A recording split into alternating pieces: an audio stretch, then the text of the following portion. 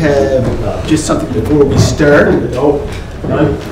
Council Tweel is, co- is, is, What's that? Council Tweel is on the line. right? Counselor Tweel is on the line. He's coming into us via telephone. So this month is International Breast Cancer Awareness. I noticed Counselor uh, Bernard is wearing the pink ribbon. We are getting pink ribbons in for this, uh, for this uh, Awareness Month. So tonight we'll be lighting our bell tower in pink to recognize International Breast Cancer Awareness Month. Uh, As you may have heard, earlier this year, the World Health Organization, WHO, declared breast cancer the most diagnosed cancer in the world. More than 27,000 Canadians will be diagnosed this year alone, and we all know someone affected by, uh, affected by breast cancer, a mother, a sister, my sister being one, the oldest sister, a wife or a friend. So there will be pink ribbons coming to uh, celebrate the International uh, Breast Cancer Awareness Month, the whole month. Okay, declarations of conflict of interest.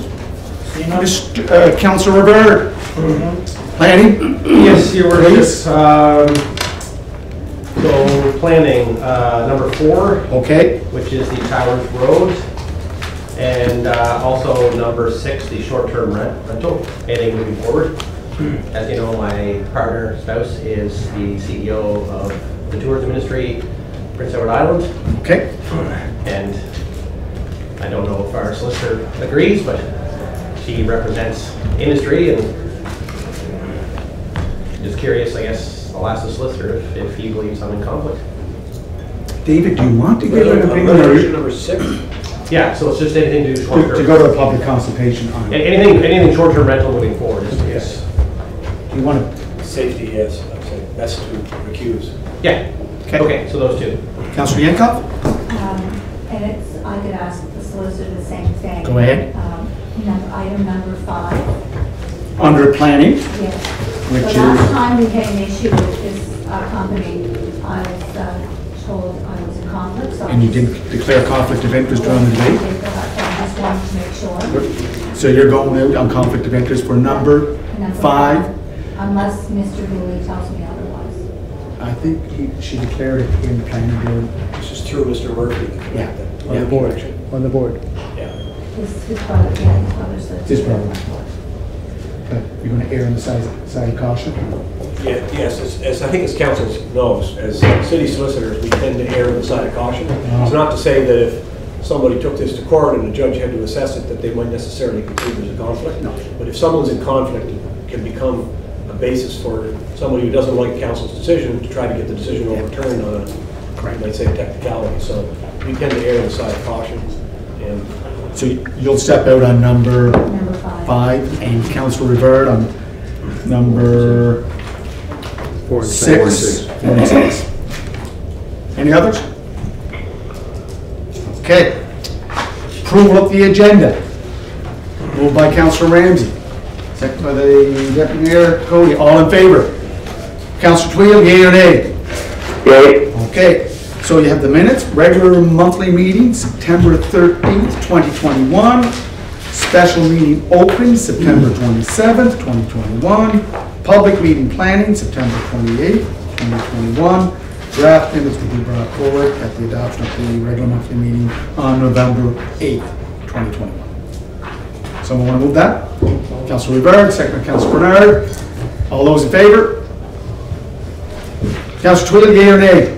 Yea. Okay, business arising. There are the minutes. Seeing none.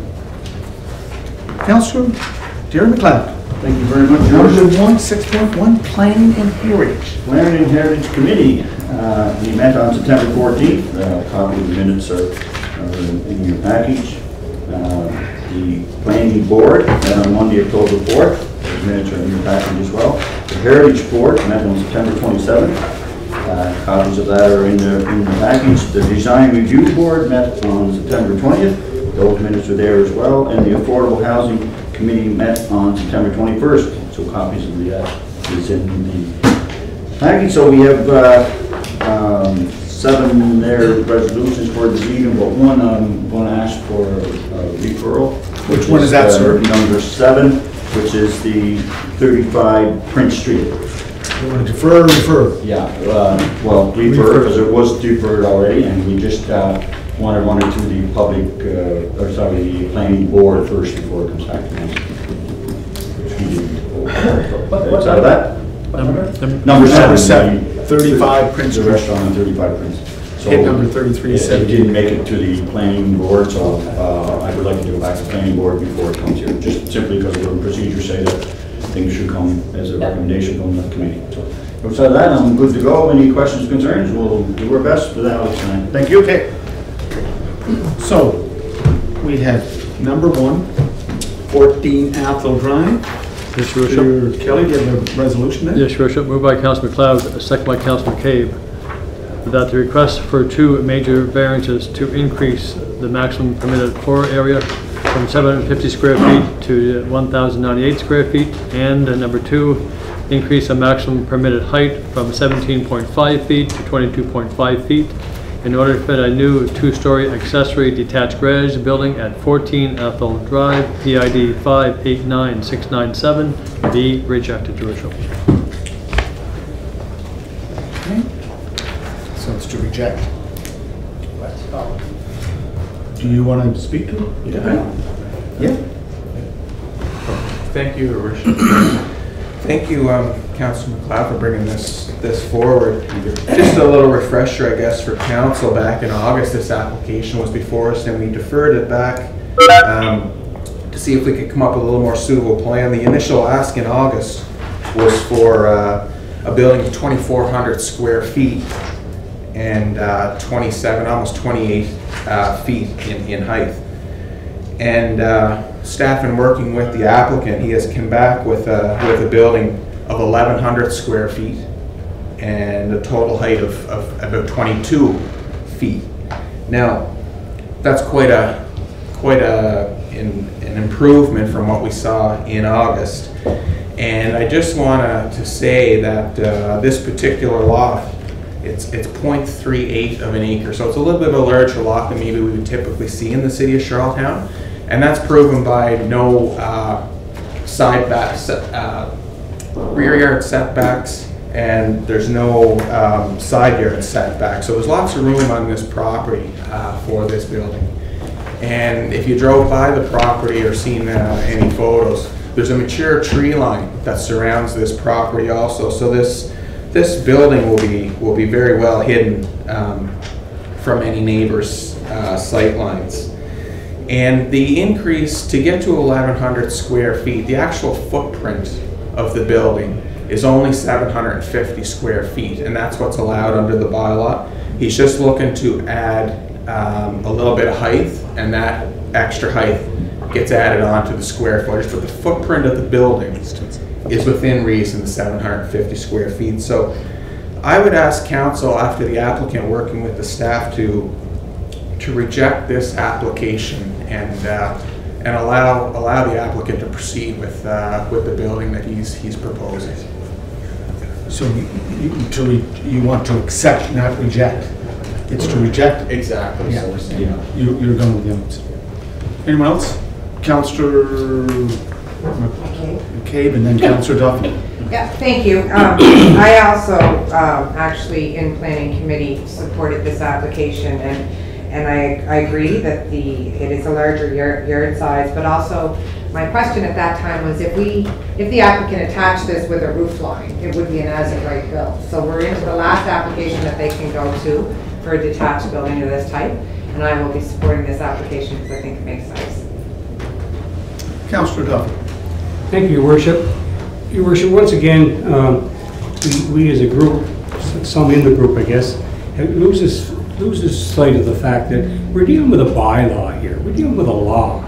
And and when you're dealing with a law, uh, you just can't give permission to break the law because I, I need more space or whatever. The guy, sure, he gave it a good shot, but he's still 400 square feet over against, you know, outside the, what, what our law dictates you have to have. With no reason, you know, what, what is it? I can live with a variance, you know, when, when there's a variance requested of us that's very minor, and there's not, not a, you know, not a big deal, say a, a foot or a foot and a half or whatever, a bit more land, and it's out in the middle of nowhere, you know, you can, and, the reason is that he needs it for a good purpose, you can, you can kind of weigh the, the good and the bad and, and come up with a compromise or, or, or grant it to him. But in, in these particular, we had one last month, and Councillor uh, MacLeod and I uh, argued against it, and one of MacLeod's, Councillor MacLeod's uh, remarks was, it won't be long that more will back, more will be back looking for garages that exceed the, the parameters that is allowed under the law. It's just because no one, no one complained in the area. You can't enforce laws just by the mere fact that, well, nobody, nobody kind of was upset with it. We have a law there. The purpose of the law is to develop this municipality in an orderly fashion.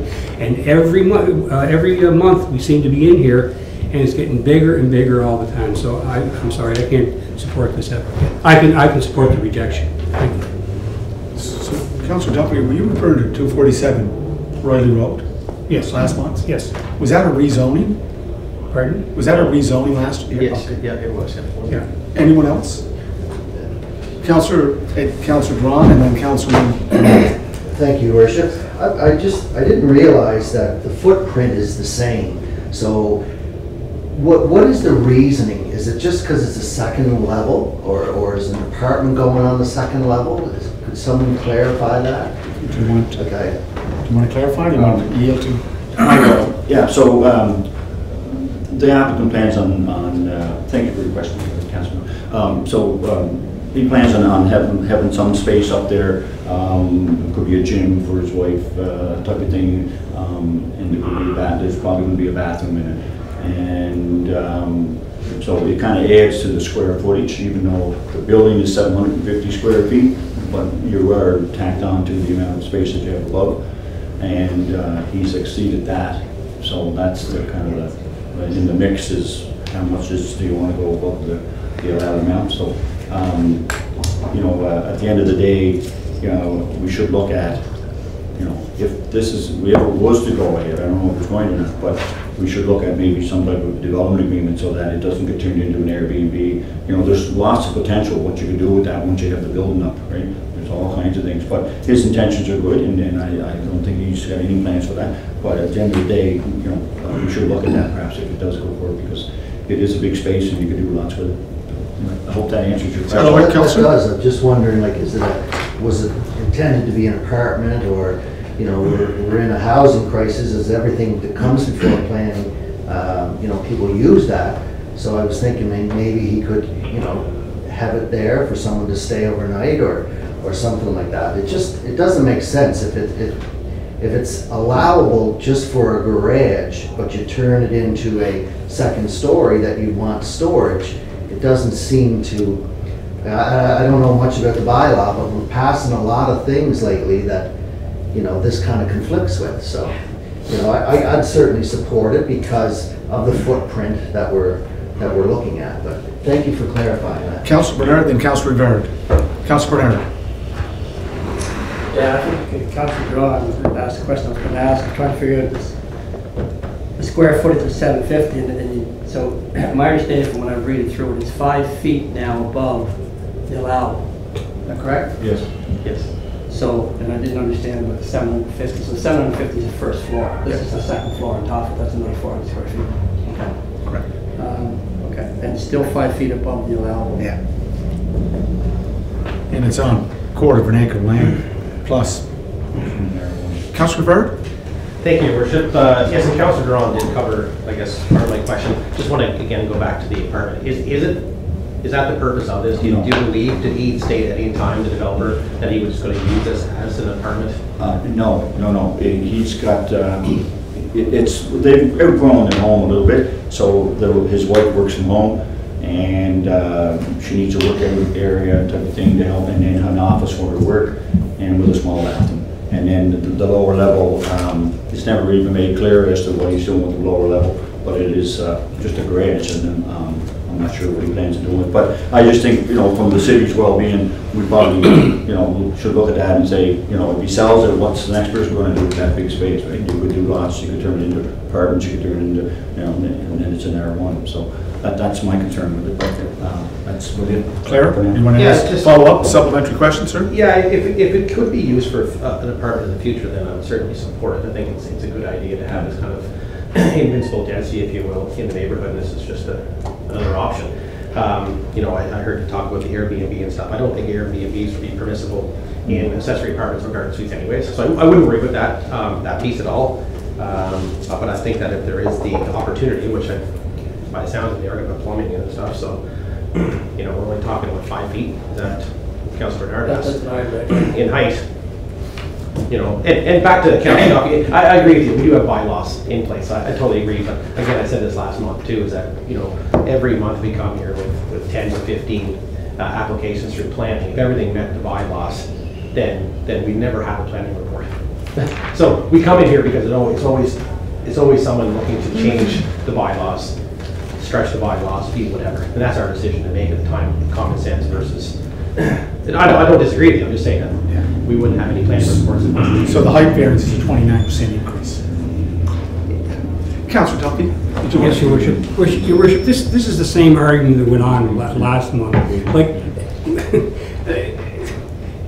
we have a bylaw, but now people are starting to surmise in the future what he might put in it, be it a gym or, or a- an Airbnb. It doesn't matter. He's 400 feet, square feet in excess of what the bylaw says.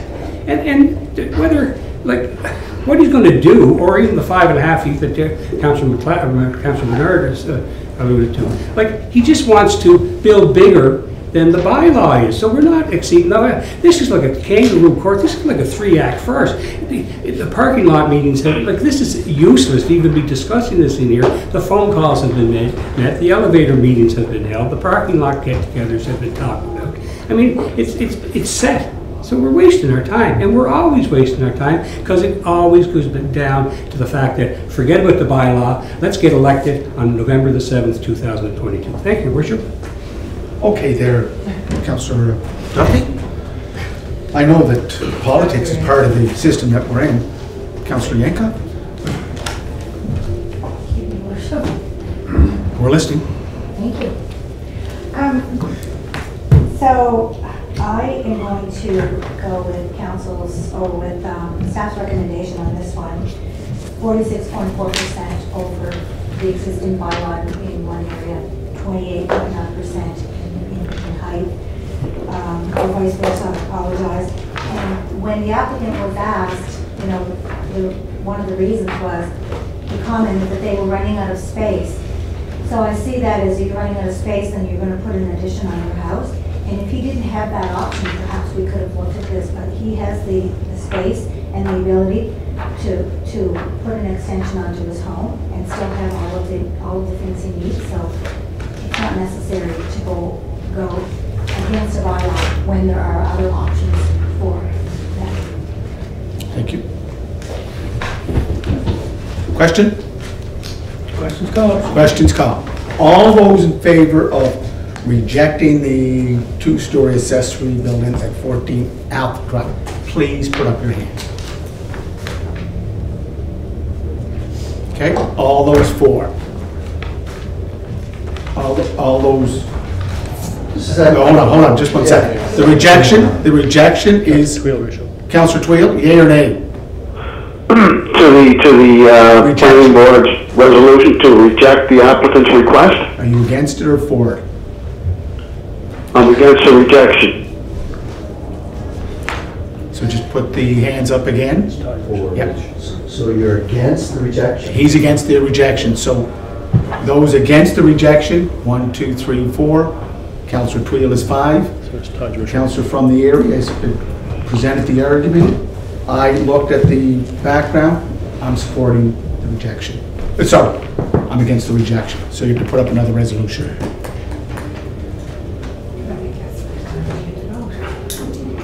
So the second resolution will be to approve it, so we'll have another vote.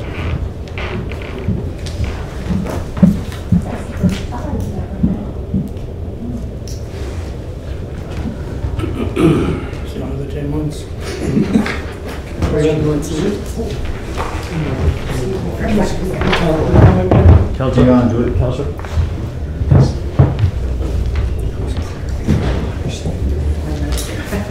You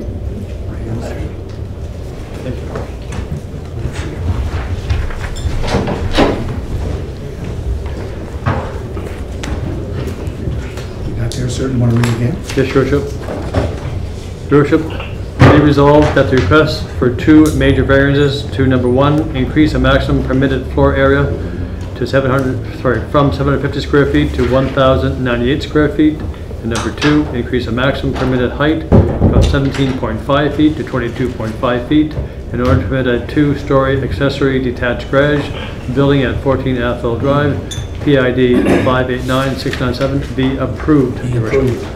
Okay, question? Questions called? All those in favor, please raise your hand of approving this. One, two, three, four, five. Counselor Tweel? In favor? Okay. Just put your hands up again, please, in, in favor of it. In favor of approving. You can change your mind. I'm sorry. Are we in number two here? No, we're still, we're, Oh, I did- I We're 14 after. did- I thought we would have gone. just keep your hands up, keep your hands How up. many times asked? One, two, three, four. Counselor Tweel, yea or nay? In favor of the application? All those against?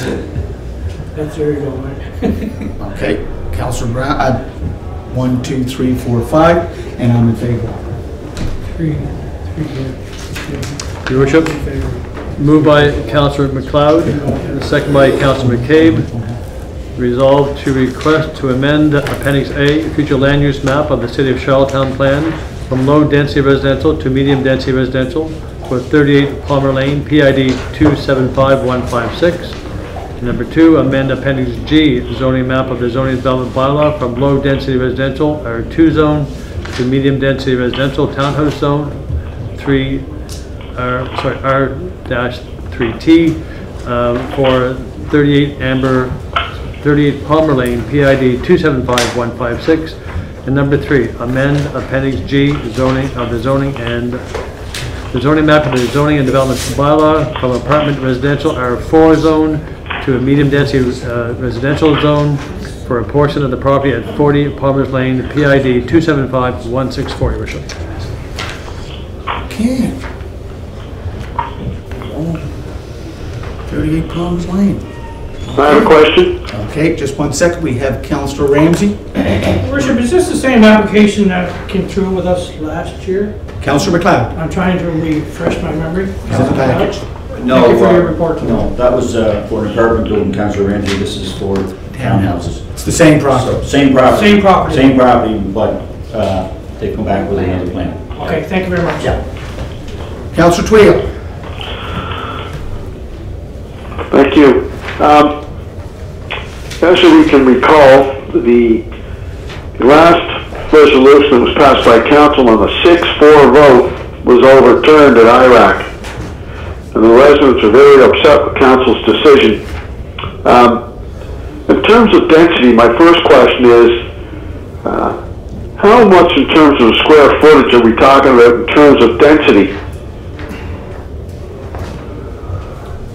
Do you want to answer that, sir? I'll Or let- I'll let Mr. Forbes answer that. Mr. Forbes, can you uh, provide an answer to Counselor Tweel, Ward 4? Uh, I can. The, the previous uh, uh, proposal was for uh, an apartment building, and this is for townhouses. And the, I, um, um, just, uh, the, it's in your report, but I think it's dropped from 18 apartment units to 12 townhouse units. Thank you, Your Worship. And the application previous, Mr. Forbes, was that second question. rezoning? My second question is, did the applicant have an opportunity to go out and canvass the neighbors that are going to be directly affected by this proposed development?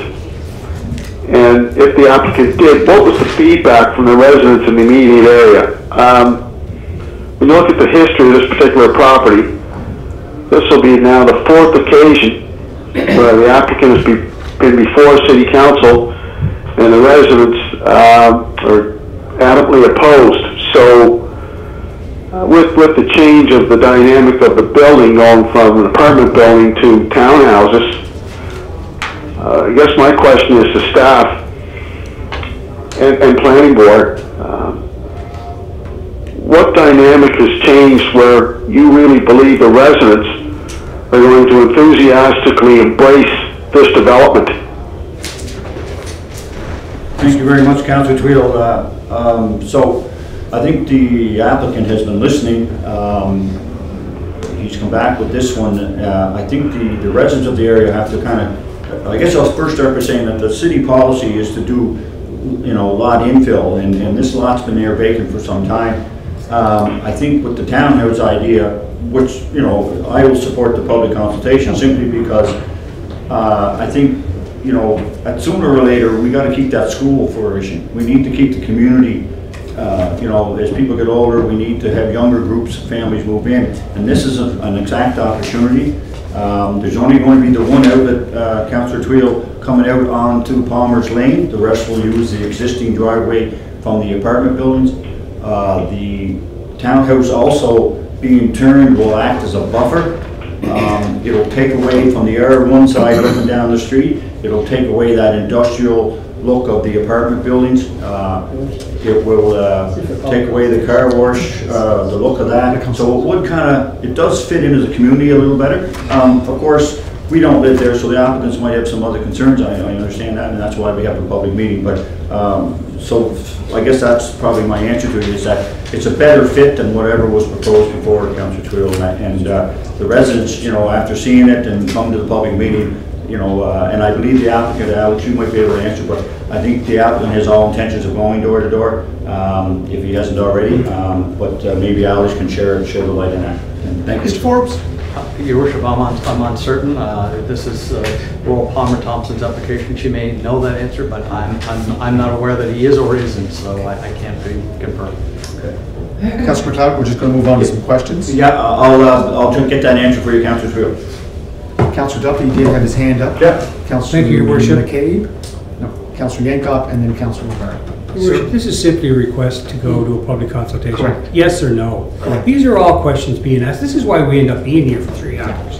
So, Public consultation, yes or no? And we- we'll deal with the questions at that point in time. You called the Thank question? Pardon? You called Yes, the I question? have another question, Thank Mr. you. Mayor. Question's been called. Question's called.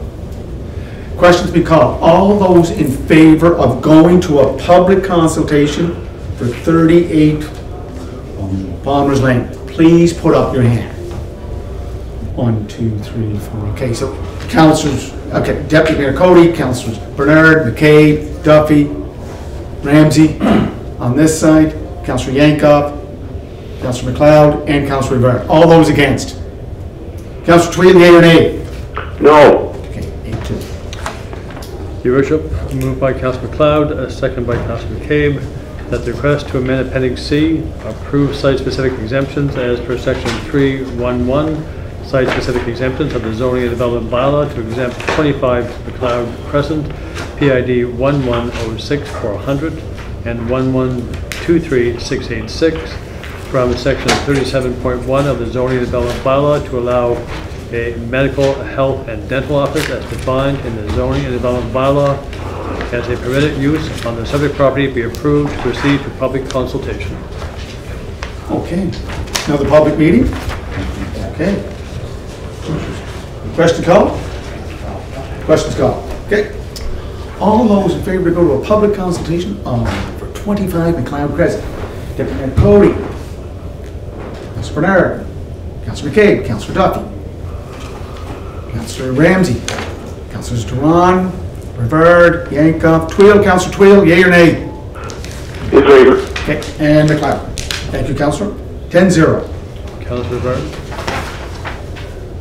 Gonna go next one. that is stepping over first, Your worship. Your worship, moved by Councilor MacLeod and second by Councilor McCabe, that the application submitted by APM on behalf of Killam Properties showing the architectural design drawings and working site plans for Phase 1 of this development on the corner of Towers Road and Mount Edward Road at PID 390-534, 390-559, and 390-552 be approved subject to section 42.2.6 of the zoning and development bylaw, your worship. Councilor MacLeod, any information? Uh, yeah, so, um, uh, I'm not sure if, uh, um, how you want to go, but just, so, in the package, you'll see, um, there's two reports, there the existing report that we had, and then the, the report was changed after planning board. So, uh, so you'll see it, uh, it's, it's highlighted in gray, and, um, planning board's recommendation is- was to bring it here with uh, option number one, which was to uh, go for the changes to the exterior of the building without going to a public meeting. Um, There was uh, lots of consultation happening on this one, and uh, um, I don't think anyone was in disagreement of that the changes were better, but in the comprehensive area development, um, the applicant can, can be stuck to the idea that whatever was put on the picture of the advertisement could, uh, could be held to what um, is to be built. Um, At the time, um, the applicant did express the reason they put that building there was simply because they had to put something there. Um, And they, we, as a group as well, understand that, you know, in future comprehensive development agreements, that we need to make sure the applicant is aware that you know, uh, so they put up a vertical metal-looking structures, and uh, um, this is much more pleasing. Um, It's got lots of archways, and and, uh, the edges were some, you know, separated and made, and made more like looking like homes instead of the industrial look. And, uh, you know, we, you know, we're not planners, the planning board, uh, we're not architects, um, so we asked for staff's uh, support and giving us some help with this one. It was a, it was kind of a hard one to, you know, uh, to deal with because, you know, you, you know, was there changes made to the structural? Well, no, there wasn't, there were no structural changes made, it's all exterior. So um, that's why it's here today, looking forward to go ahead. Thank you. Councilor McCabe. Thank you. Yeah, um, and you're right, there has been a lot of discussion on this particular application, and we as a council have already voted to send this to a public meeting, at which the applicant pulled out of that public meeting.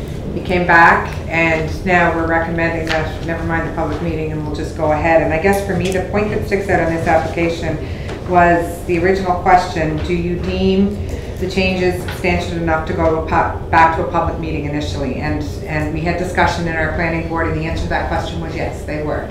Uh, unfortunately, like, we don't want to go back and discuss anything other than the design, but the process was to follow the design. And for me, I'm sticking to that original question, I will be supporting the application. Councilor MacLeod. Good, thank you very much, Councilor McCabe. Uh, So, yeah, you're right, um, so that's why the two packages are there, the original package of where we couldn't make our mind up whether or not it was structural or not, because we're not engineers, so we were going to go to a public meeting. The applicant, at the same time, was doing the foundation, and the permit had to be done for that, so that's the reason why they pulled the permit for the, for the outside of the exterior of the building at the time. But um, we discussed heavy with staff that we want a recommendation. Unfortunately for us, as planning board, uh, residential members and, and council, we're not architects, so we, we needed your help, staff. We kept saying that, we need your help. So it was a long drag of battle with staff, yeah, uh, finally came through and said, yes, they recommend option one, where it did not have to go to a public meeting, that there was no structural changes, the foundations didn't change, and that they felt comfortable enough saying to the planning board, we're making a recommendation. So we took that recommendation and uh, we moved forward without having to go to the public meeting. So that was basically the process. Thank you. Councilor Jankov, then Councilor Ramsay. Thanks.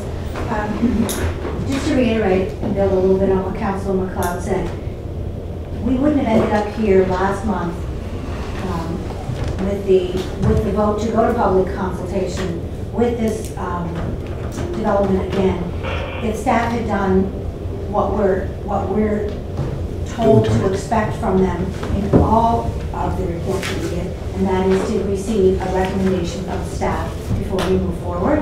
So the planning board, we were stuck and we were not comfortable with that because we are not planners. So this time, the process was followed properly and we did receive a recommendation from the planning staff, which was that it was not necessary to take this back to public consultation, that the design to them was sufficient. So therefore, planning board supported planning staff, and here we are tonight. Okay. Thank you. Councilor Ramsay. Thank you, your worship. Thank you, Councillor MacLeod. And I guess it's all clear as mud.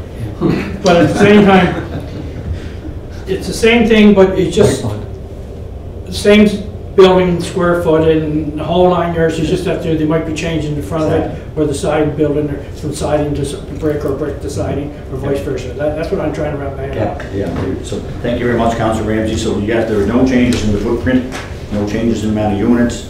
The only difference is the, the, it's going to have clad on the outside, n- nice horizontal instead of the vertical metal that was shown in the picture. Thank you very much. And that's where it is. Thank you. Councilor Brennan? Thank you, Lisa.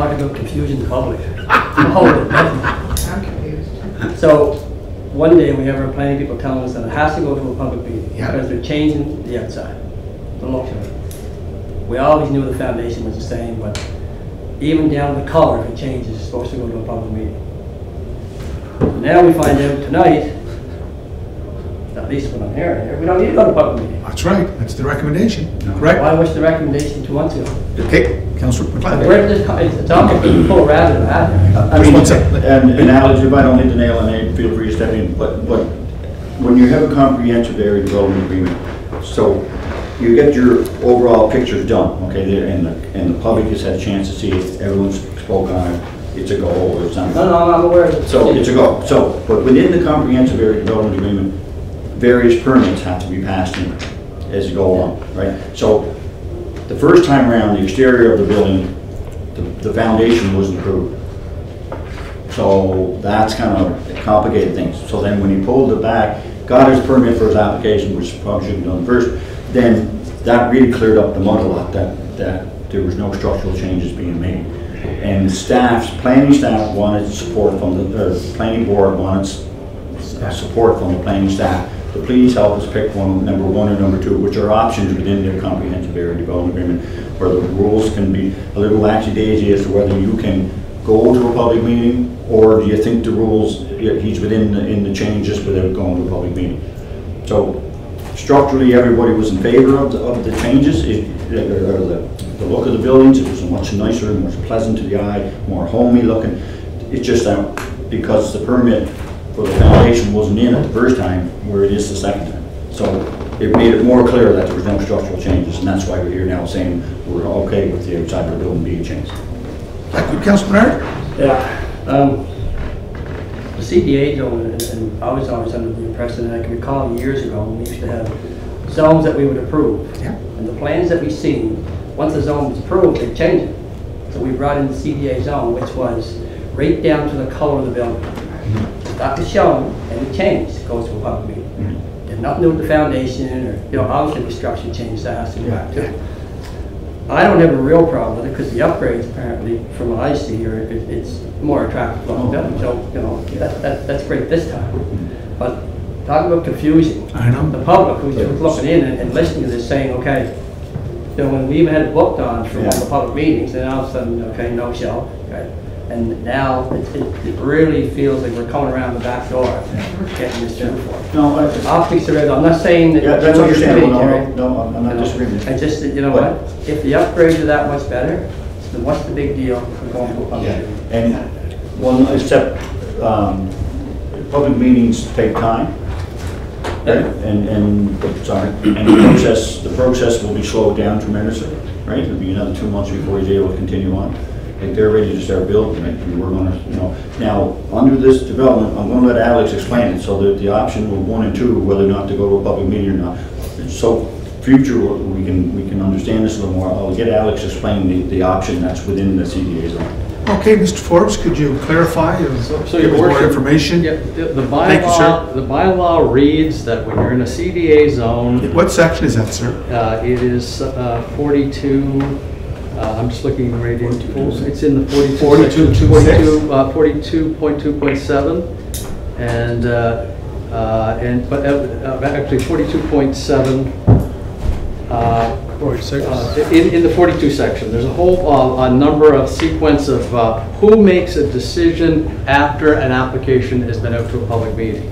And uh, th- this isn't a new application. Every time you show a concept plan, uh, council gets direction from council in regard to putting a development agreement together with all the specifications that were a part of the public meeting, including the design, which we did. So, uh, so when, uh, it is purposely put in place that way so that you show a concept, uh, it- it's more general, but then when you come in with your actual architectural plans and your site plan, whether it's this application or any, it goes back and the, the recommendation is, uh, uh, subsequent to approval of the development concept plan, which you did and you approved with a, with a development agreement, the working site plan and buildings shall be approved on the recommendation of the planning board for each phase within the CDA zone, provided it is in the opinion of council, consistent with the overall development concept plan and any schedules attached thereto.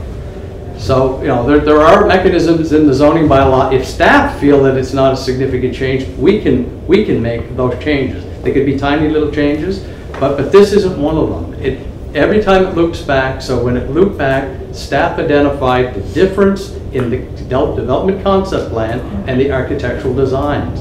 So, you know, we needed a recommendation from planning board and council. The reason that, you know, it, it's, not really, in my opinion, up to, up to staff in regard to, I'm okay with the architectural design, I made it very clear, the quality of the two designs, in my opinion, was, uh, was uh, similar. Uh, it wasn't dropping the quality of the building. So, uh, but, but again, somebody has to make the decision, so planning board subsequently decided to recommend that it not go back to a hearing, uh, and then council is gonna have to make uh, a decision one way or the other, whether they want to go back to a public hearing. Thank you, your worship. Councilor Bernard. Would, would this go back to the architectural design process? And has it? Since they changed the, the inside? Mr. Your worship, the, that- the, uh, the design review, pro- the design review process is for another area of the city and was never really a portion, wasn't contemplated in the CDA zone. Maybe it should be in the future, we can, we can discuss that, but, but th- that, they couldn't be, you couldn't direct it to them because the provisions in the bylaw weren't to send it to design review, it's just the way that it reads. It needs to go back to council, council goes, I see the original concept, I see the, the site plan and the elevations, are we okay with it? Yes or no? Yeah, you know what? From what I've seen in the drawings, I'm okay with it. Right. The problem I have with is the message we sent out to the public. And now, and now I hear that, that Councilor Jankov saying that staff feels a substantial change. No, no, no, substantial sta- sta- staff never, staff have got to point out to council. The fact is, is that we get it, we get, we got the development concept plan, whether it's this application or any. Uh, it comes back through, staff will, all staff do is say, this is exactly what was approved, uh, and, and, and we just send it along. And then planning board and council typically deal with it. Uh, when, when I was asked, in my opinion, not Laurel or her opinion, we're not opposed to it, but, but there was an agreement made with the public uh, as a part of the development agreement. And somebody needs to, to direct staff, are we comfortable with that change or not? And that's where we are. Staff are okay with it. So, and, and, but I heard earlier that in the planning meeting, Yeah. that it was considered a substantial change. And it was a substantial change. To me, that requires going back to the meeting. Well, I, I guess for me, you know what, I've seen the drawings, I think it's fine. I don't think there's anything wrong going back to public showing them. Here's, here's, here's what he's looking to upgrade to. You have a problem. And I think at least we follow what, what the perception of people expect. Councilor Jankov. What Council Bernard is saying is absolutely right. And the only thing, the only part that he missed again. out on, and it's certainly to not his, his fault, is that we wouldn't have went, we wouldn't have answered the question the way we did the First time. first time we went to the planning board meeting. If staff had done what they do in every other report, which is give a recommendation.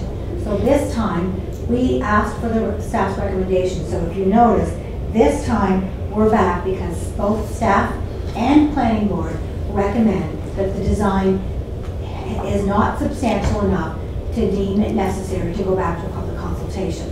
So the last time we were here, staff refused to give us a recommendation, so as a planning board, we felt, we're not planners, we're not answering that question ourselves, so let's take it back to, to the, uh, to the council and decide. So instead, it was referred, deferred back, and this time, staff did do what they normally do in any other report, and they gave us a recommendation. So we've got two recommendations, one from staff and one from planning board, and that's why we're back this time. Good. Does that make sense? Good question. Councilor McCabe. And I think, it thank you, and I think all of these points are well taken. It kind of reminds me, brings me back to our planning board discussion. But I think the question goes, and there was different perspectives, what Councillor Bernard was asking, one of their architect planning board members did say, this is a substantial amount change in design, that it should go back to public meeting. Recall that?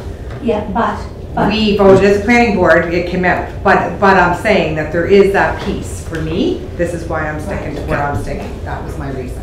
Councillor MacLeod and then Councillor, Just to rebuttal that, again, that was during the first time around. No, that was at our last meeting. We, once staff made their mind up that, that uh, this was a, not a substantial change, we all voted for it. okay. Councillor Duffy? Thank you, Your worship. Uh, What do you it was- think? It was, I read here as Councilor Jankov does, staff recommendation, approve. I also read board recommendation, approve. Yes. And I hear from Councilor uh, uh, McCabe. McCabe that one member of the planning board said it was a substantial change. No, that was the discussion I was clarifying, Councilor. Yeah, so was it a member of the planning board that said it was a substantial change? Yeah. Well, just a That- member. It was just a personal, it it was discussion. Yeah. but I'm one- supporting you. my- Ask My me point is this, my point is, we listen to approvals that come from the board.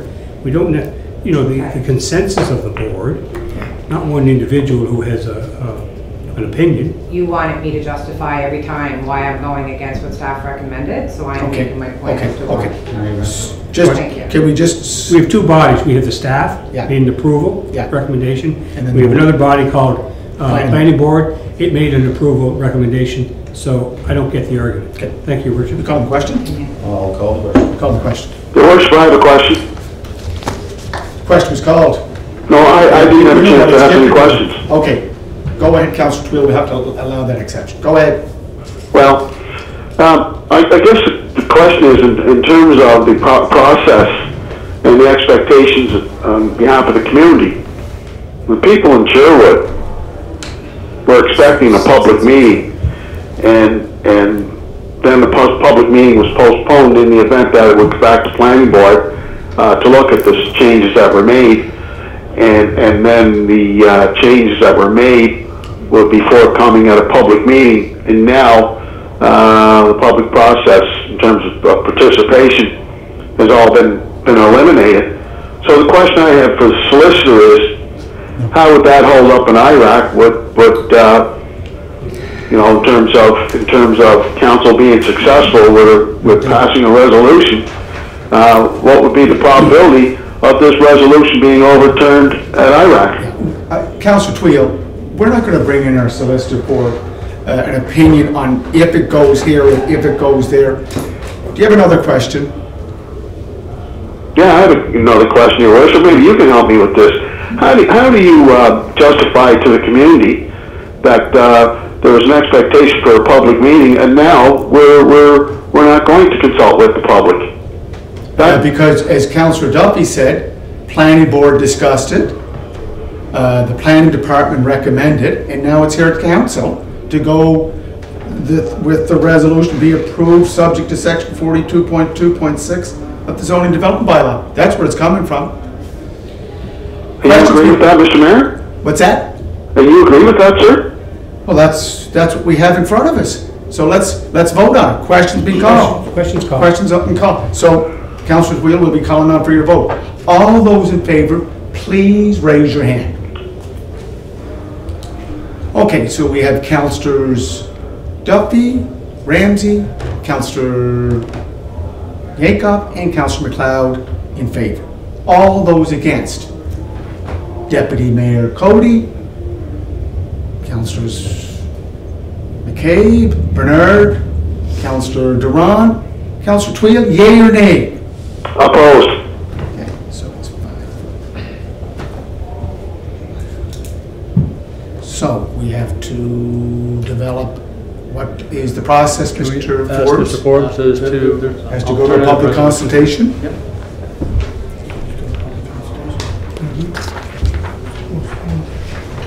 So if I, can I? You, you, sir, sir, as we put the resolution on the floor, can you just wait, get the Oh, resolution, please? I'm Sorry, Peter.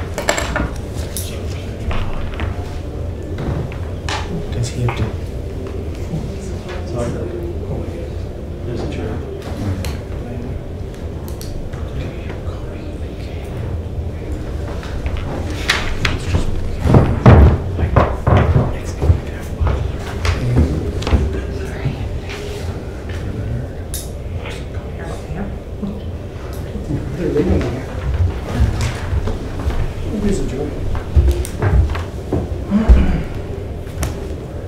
Your worship, moved by Councilor MacLeod, second by Councilor McCabe, that the application submitted by APM on behalf of Killam Property showing the architectural design drawings and working site plans for Phase 1 of this development on the corner of Towers Road and Mount Edward Road, PID 390534, 390559, and 390542 be sent to a public meeting.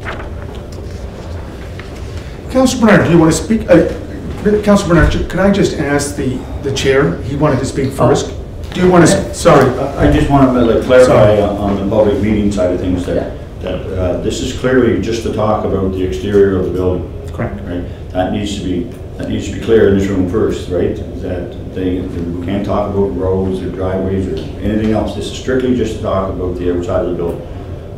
Just wanted to make sure everybody was clear with that, that this isn't uh, an open up big can of worms thing. This is, we're strictly talking about the the facade of the building. Thank you. Councilor Bernard. Thank you. Um, And, and good point, I, I agree. It- It's, it's a meeting just to talk about changes on the inside. Um, And it's nice to know that there's another option. We never ever knew this was another option, but I think in this case here, when we, when we've given the impression we're going for public meeting because of change, that we should be going for public meeting. So I'll I'll be supporting the resolution. Can I just have one last thing? You go read it there, sir, you're the chair. Let's, um, in some ways, like, you know, we, we fought hard for this thing to, to get staff to make a recommendation, uh, because we didn't want to come here and, and, uh, we did that. And, you know, so staff recommended, planning board recommended, and here we are. Just keep in mind, folks, that we're here, we're open for business, and we're trying to do our best, right? It's times of COVID, and here we are slowing down business. I just, it's got nothing to do with who the applicant is, I really don't care. But you know, we have followed process here, and now we're going back again, and it just seems like unnecessary. But anyway, it's, it's, it's, I'm the guy that's on all about priority and Yeah. making it perfect, and, and, uh, we did. But I think it's following the process too. Yeah. We did follow Okay, process. Yeah, but I think that- that this, this is a change what the public Yeah. expects. question? That's, that's. Questions, called. Questions, called. I wish you'd just go with Do you, it. do you want to, Mr. You ready? You ready? Yes, ma'am. All those in favor of the resolution That's to go to public meeting? to go to the public consultation, please put up your hand. Okay? To go to the public consultation, I have Councilor McCabe, Isn't it Opposite of what we just read? Councilor Doiron, Councilor Bernard. To go to the public consultation, Councilor Tweel, yea or nay? To go to the public consultation, in favor. Okay, that's four. Those against going to public consultation, please put up your hand. Against? No. You're four. Yeah. sorry. Okay, so, Yeah, that's kind of make you go backwards again. Can I just re- recall the vote again? I'm just trying to get a sense, trying to get a sense. Can we just do it over again, please? All those in favor of going to the public cons- consultation, please put up your hand. Deputy Mayor Cope, Councilor Bernard, Councilor McCabe, Councilor Doiron, Councilor Tweel, yea or nay? In favor. In favor. All those against? All those against? Against? Councilors Duffy, Ramsay, Councilor Jankov, and Councilor MacLeod. Five to four. So it goes to a public meeting. Correct? Correct. Okay. Your worship, moved by Councilor McLeod, second by Councilor McCabe, that the proposed drive-through business.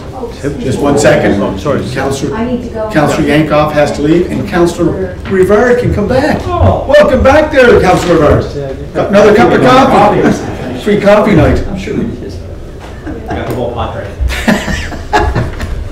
Do you want to read the resolution, Your worship, moved by Councilor MacLeod, second by that the proposed drive-through business, Tim Hortons, at 404 Mount Edward Road, PID 1007707, be approved subject to the following.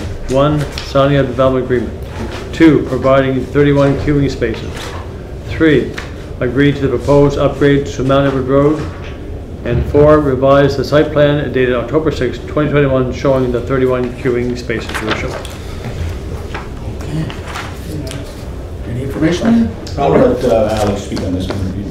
Mr. Forbes, anything to add? Uh, Just your worship, uh, this is, uh, again, uh, we had a similar application of this nature. There was a uh, traffic study done. Okay. Uh, There were changes that had to be made to accommodate some more queuing space, up to 31. Uh, The applicant has provided it. The province has been consulted, uh, and so the province is aware of the application and uh, agree that with the proposed changes, which are, uh, will be a requirement of this application, uh, improvements to the left turning lane, which will have to be put in place by the applicant in the development agreement uh, to accommodate the additional volume that's uh, trying to make that left turning movement. So uh, Mr. Adams has reviewed it, the police have reviewed it, and the province has reviewed it, and all are indicating that they are in support with a development agreement outlining the, uh, the cost implications to the applicant for that left turning uh, movement as outlined in the traffic report. Thank you, Your Worship. Your Worship? Do you want to go first? I'll just- Yeah. Yeah, so, And then so, Councillor Ramsay. yeah, so just to, just to make it clear, so all these queuing spaces are not on the street. Oh, This is sure. a little different.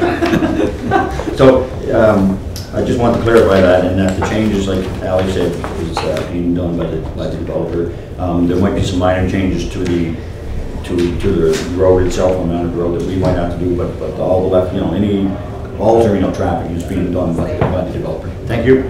Councillor Ramsay. Thank you, your worship. Just location, I, I am trying to figure this one out. Just it's north of the arterial highway, Next to Manistee. Thank you. across, across from Outriders. Up there where all the car Industrial. dealerships. Okay, Good, clear? thank you. Almost the indus- the industrial. Question? Question Question called. called. Okay. All those in favor, please put up your hand. Mayor Coady, Councilors Bernard, McKay, Duffy, Ramsay, Councilors Doiron, Rivard, and MacLeod. Councilor Tweel, yea or nay? In favor. Okay. Your your worship, so we'll wait till it change up again, and the landing can come back in again. Can you ask I've seen this Councilor? for a while. Which one, Uh, Number six. Number six, right. Just, we're just waiting for Councilor There you go. Jankov to come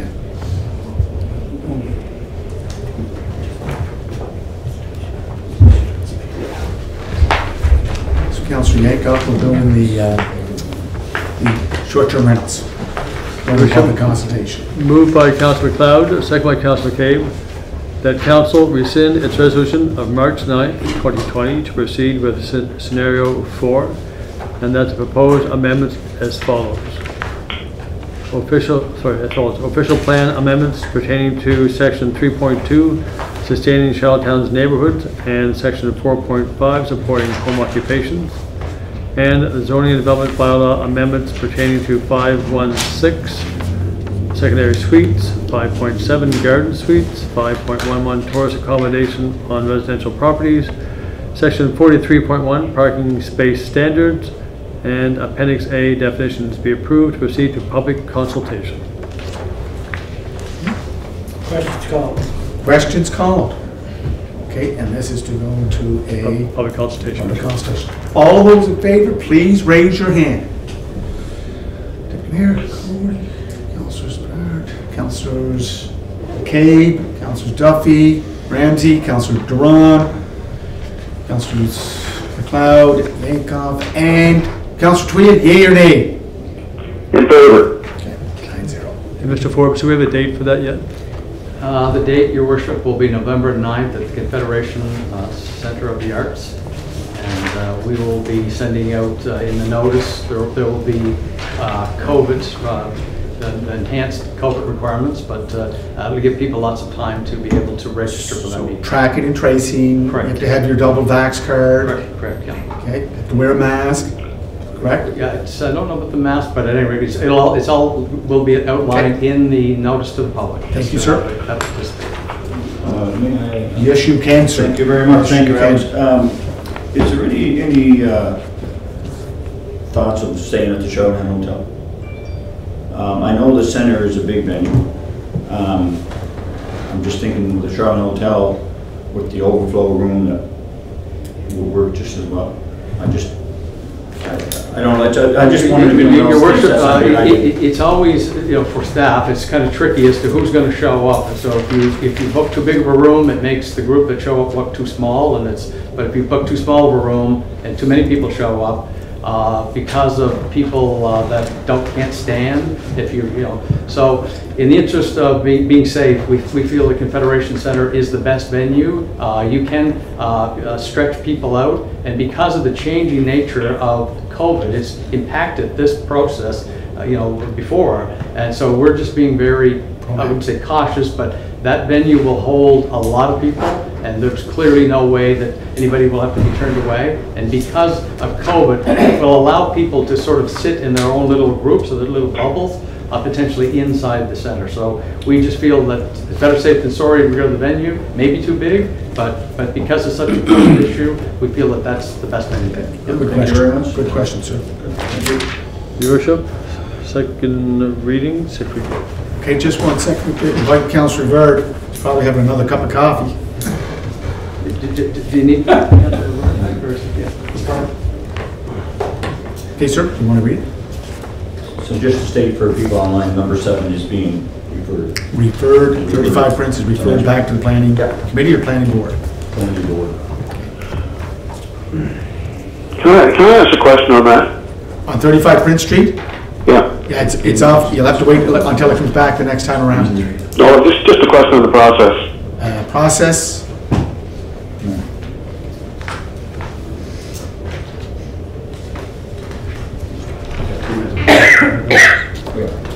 did you want to answer the process with 35 Prince Street, that it's just Well- going back? I think it's important to, and I already know that the reason for the referral was simply to go back to the planning board. It didn't get the planning board. Yeah. So we're going back to make sure it gets the planning board because council should not be recommending anything or voting on anything that doesn't come from the committee.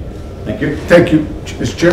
You want to read the second, is it second reading, sir? yes, Worship, there's, um, there's three of them. Oh, Your worship, whereas the bylaw to amend the City of Charlottetown zoning and development bylaw, PH-D.2049, as pertains to a portion of the property at 88 Rafting Point Road, PID 396770, as attached, was read and approved a first time on September 13th, 2021.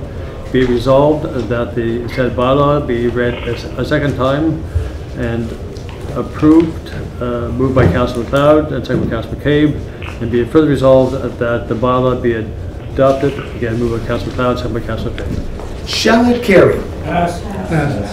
Good. Councillor Tweel, yea or nay? In favor. Next one, sir.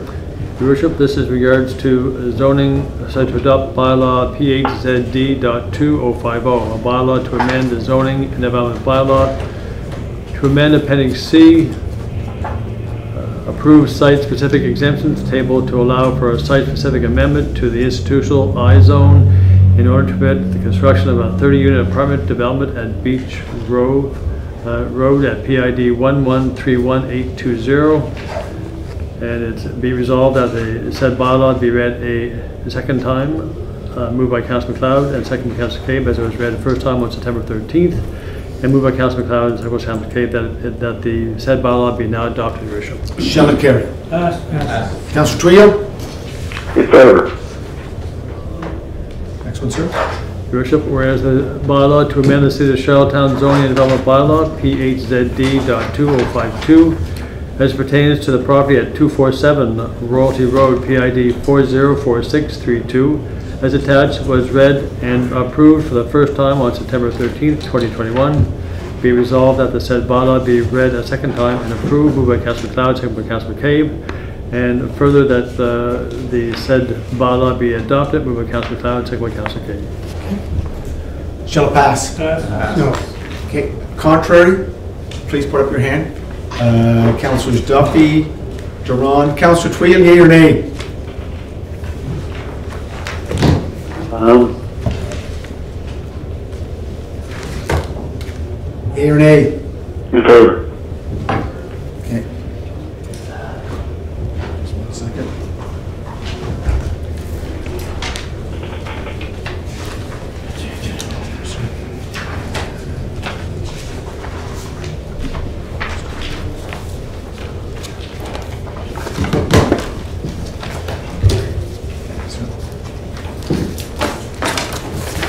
That is it, sir.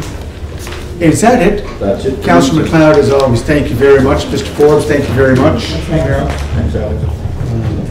Definitely going in a new direction with the meeting on what, November 9th on the short-term rentals. Okay, I believe economic development is next, and that's Councilor McKay. Thank you, Your Worship. The Economic Development, Tourism and Event Management Committee did not meet since our last meeting of council. The Arts Advisory Board met on the 24th of August and the 28th of September. Those open draft minutes are included in your package. To give you a little update, the tourism and event management staff joined upwards of 100 Atlantic Canadian event professionals in Halifax last week at the annual event Atlantic Summit. Our tourism officer Laura Lee participated in a panel discussion on Atlantic Canada event attraction models. Event Atlantic also had its inaugural Event Atlantic Excellence Awards during the Event Atlantic Summit, lots of events. Our Events Development Officer, Wayne Long, was named Champion of the Year, which is an award presented to an individual who embodies collaboration, dedication, and excellence in events management in Atlantic Canada. So let's give Joy and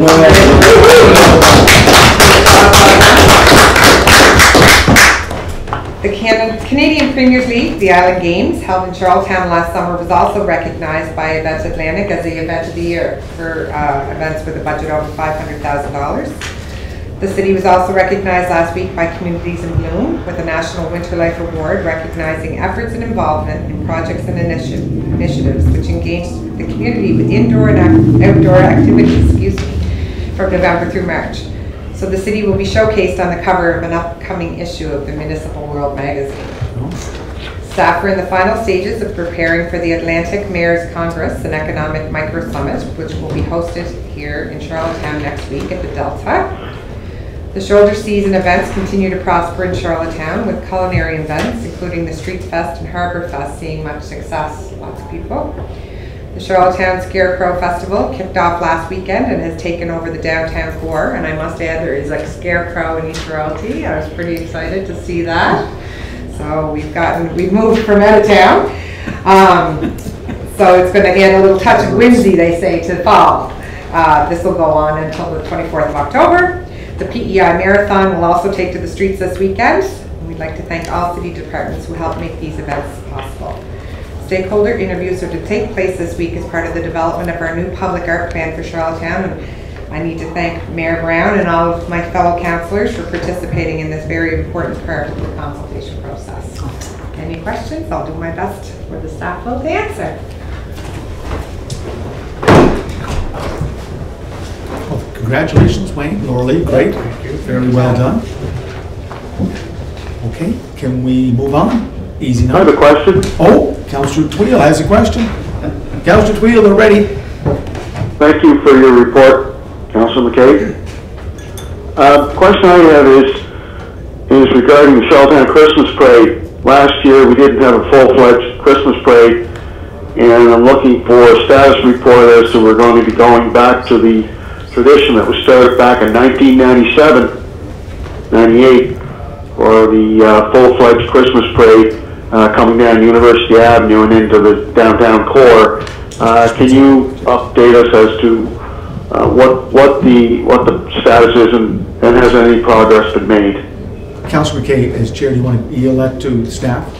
I would say, Councilor Tweel, you're on the committee, we haven't discussed it yet, but maybe there is Okay. an update from Laura Lee that she Okay. wants to provide. You're just trying to get new news, okay. Your worship, yes, we haven't had a chance to discuss it yet. Um, we did have an opportunity to meet with CPHO in person about two weeks ago now.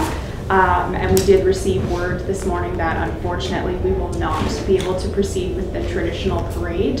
Um, they have recommended that we continue with the neighborhood tour that we developed last year as there's still um, some uncertainty around those kids under 12 uh, will be able to get their first vaccinations and there's not a great way to control vaccination status along the route so that's the direction that we have been given. Better safe than sorry. Thank you, Laura. Yeah. Okay, any other questions? Okay, thank you, Laura Lee, thank you, Wayne. thank you, Councilor McKay. Thank you very much. Okay, next one is environment. That's a trade. Yep. Councilor Tweel, environment and sustainability. Thank you. Um, Highlights for for this this monthly report is uh, transit ridership for September 2021 was 59,466 compared to September 2020 when ridership was 34,911. The city's transit system is currently maintaining eight- 83% of its pre-pandemic ridership. Monthly ridership from high school participants in the student transit project was 221 this month. The City Switch program provides 0% interest financing to homeowners looking to make energy improvements on their home. The program, which operates in partnership with Ta- Town of Stratford, Province of Prince Edward Island, and Wolfville, Nova Scotia, has now toppled over 1.18 million in homeowner upgrades since since its launch in July uh, 2021. Currently, 45% of the participants are using the program to install solar pan- panels, 39% to install heat pumps, 5% to install improved installation, and 11% on other energy upgrades. We continue to encourage residents to take advantage of this great program to support our community's green gas reduction goals and reduce the energy costs the city is now the proud owner of two electrical vehicles, a Chevy Bolt and a Hyundai Kona. Uh, these vehicles are part of the city fleet, will be used for generate, general operations as well as education for promotional initiatives. Next week, the city will be recognizing Waste Reduction Week in Canada. Residents can check our website or social media pages to learn more about the promotions during this week intended to help residents to reduce waste. Uh, Reports in your package, your worship. I'll do my best to answer any questions, and of course, our manager, Ramona Doyle, who uh, provided this report for myself, uh, these, these notes, uh, is here to answer questions as well. Thank you. sir. Councillor Doiron. Thank you, Your Councillor Worship. Uh, Thank you for your uh, report, Councillor Tweel. I just noticed in your minutes there that um, in collaboration with the Public Works Department, you uh, spoke about uh, planting a number of trees through various parts of the community. I've been asking about trees uh, to be to be planted in uh, on the highway there on the bypass. There's a lot of residents that uh, have put up with a lot of noise over the years, and uh, I think I asked last year about the TD program, if there was a possibility of getting some trees on the bypass, and I know it's been canceled for this year. Um, Could you, could you please put it back on the uh, agenda to, to try to get some trees out in that area once again, if you don't mind? Thank you. No, no, uh, no, thank you for the recommendation, Councillor Doiron. Uh, I know we're going to be planting some trees on, on the bypass, so uh, we'll certainly try to get the specifics from you and uh, work towards that, that aim. Appreciate that, thank you. Thank you. Councillor Tweel. You, uh, I know that Councillor Bernard, the deputy, were out for the opening of the active transportation pathway. Is that what you were going to bring up, No, Councillor? no, something else. So you had a great launch on the opening up the pathway, active transportation, active transportation pathway between, is it Murchison? We, we had a, we had a great launch, uh, a lot of enthusiasm in the room, and uh, certainly speaks to uh, active transportation venues being constructed throughout the city of Charlottetown. Uh, I would say we're just uh, at the tip of the iceberg. Thomas. Thank you very much. Uh, I have a question for Councilor Tweel, but I just want to also comment on your, on the uh, active transportation path. I'd also uh, like to reach out to the both staff of Environment and Public Works. Um, That's been a project that's been ongoing for some time, and it's great to see it come, come full steam ahead, and uh, we got more to go. But, uh, you know, uh, you know, in, in the past couple of years, that, that project has been, uh, you know, a lot of work's been done on, it, so appreciate all the uh, support there, and uh, keep up the good work. Thank you. So on your question, a question for you is on your uh, bicycle helmet signage. uh, um, I kind of asked about that at Public Works, and, and one of the, one of the uh, stumbling blocks from the manager of Public Works is the fact that, well, there's two things. One is it's a provincial law, and number two is, uh, there is, as part of Transport Canada, no helmet uh, signage that is available. So, um, yeah, it's kind of, uh, that's what Scott Adams said, he'd have to he'd have to uh, go back to the, to the actual Transport Canada uh, site to see if there is such a thing, but he didn't think there was, and that was one of our problems, is where do we go from there with, you know, uh, the jurisdiction wise, who's gonna enforce it? Like, putting signs up is only as good as the sign that's made on, it's, uh, you know, we gotta have a plan going forward with enforcement. So I'd like you to look into that, if you could, please, thank you.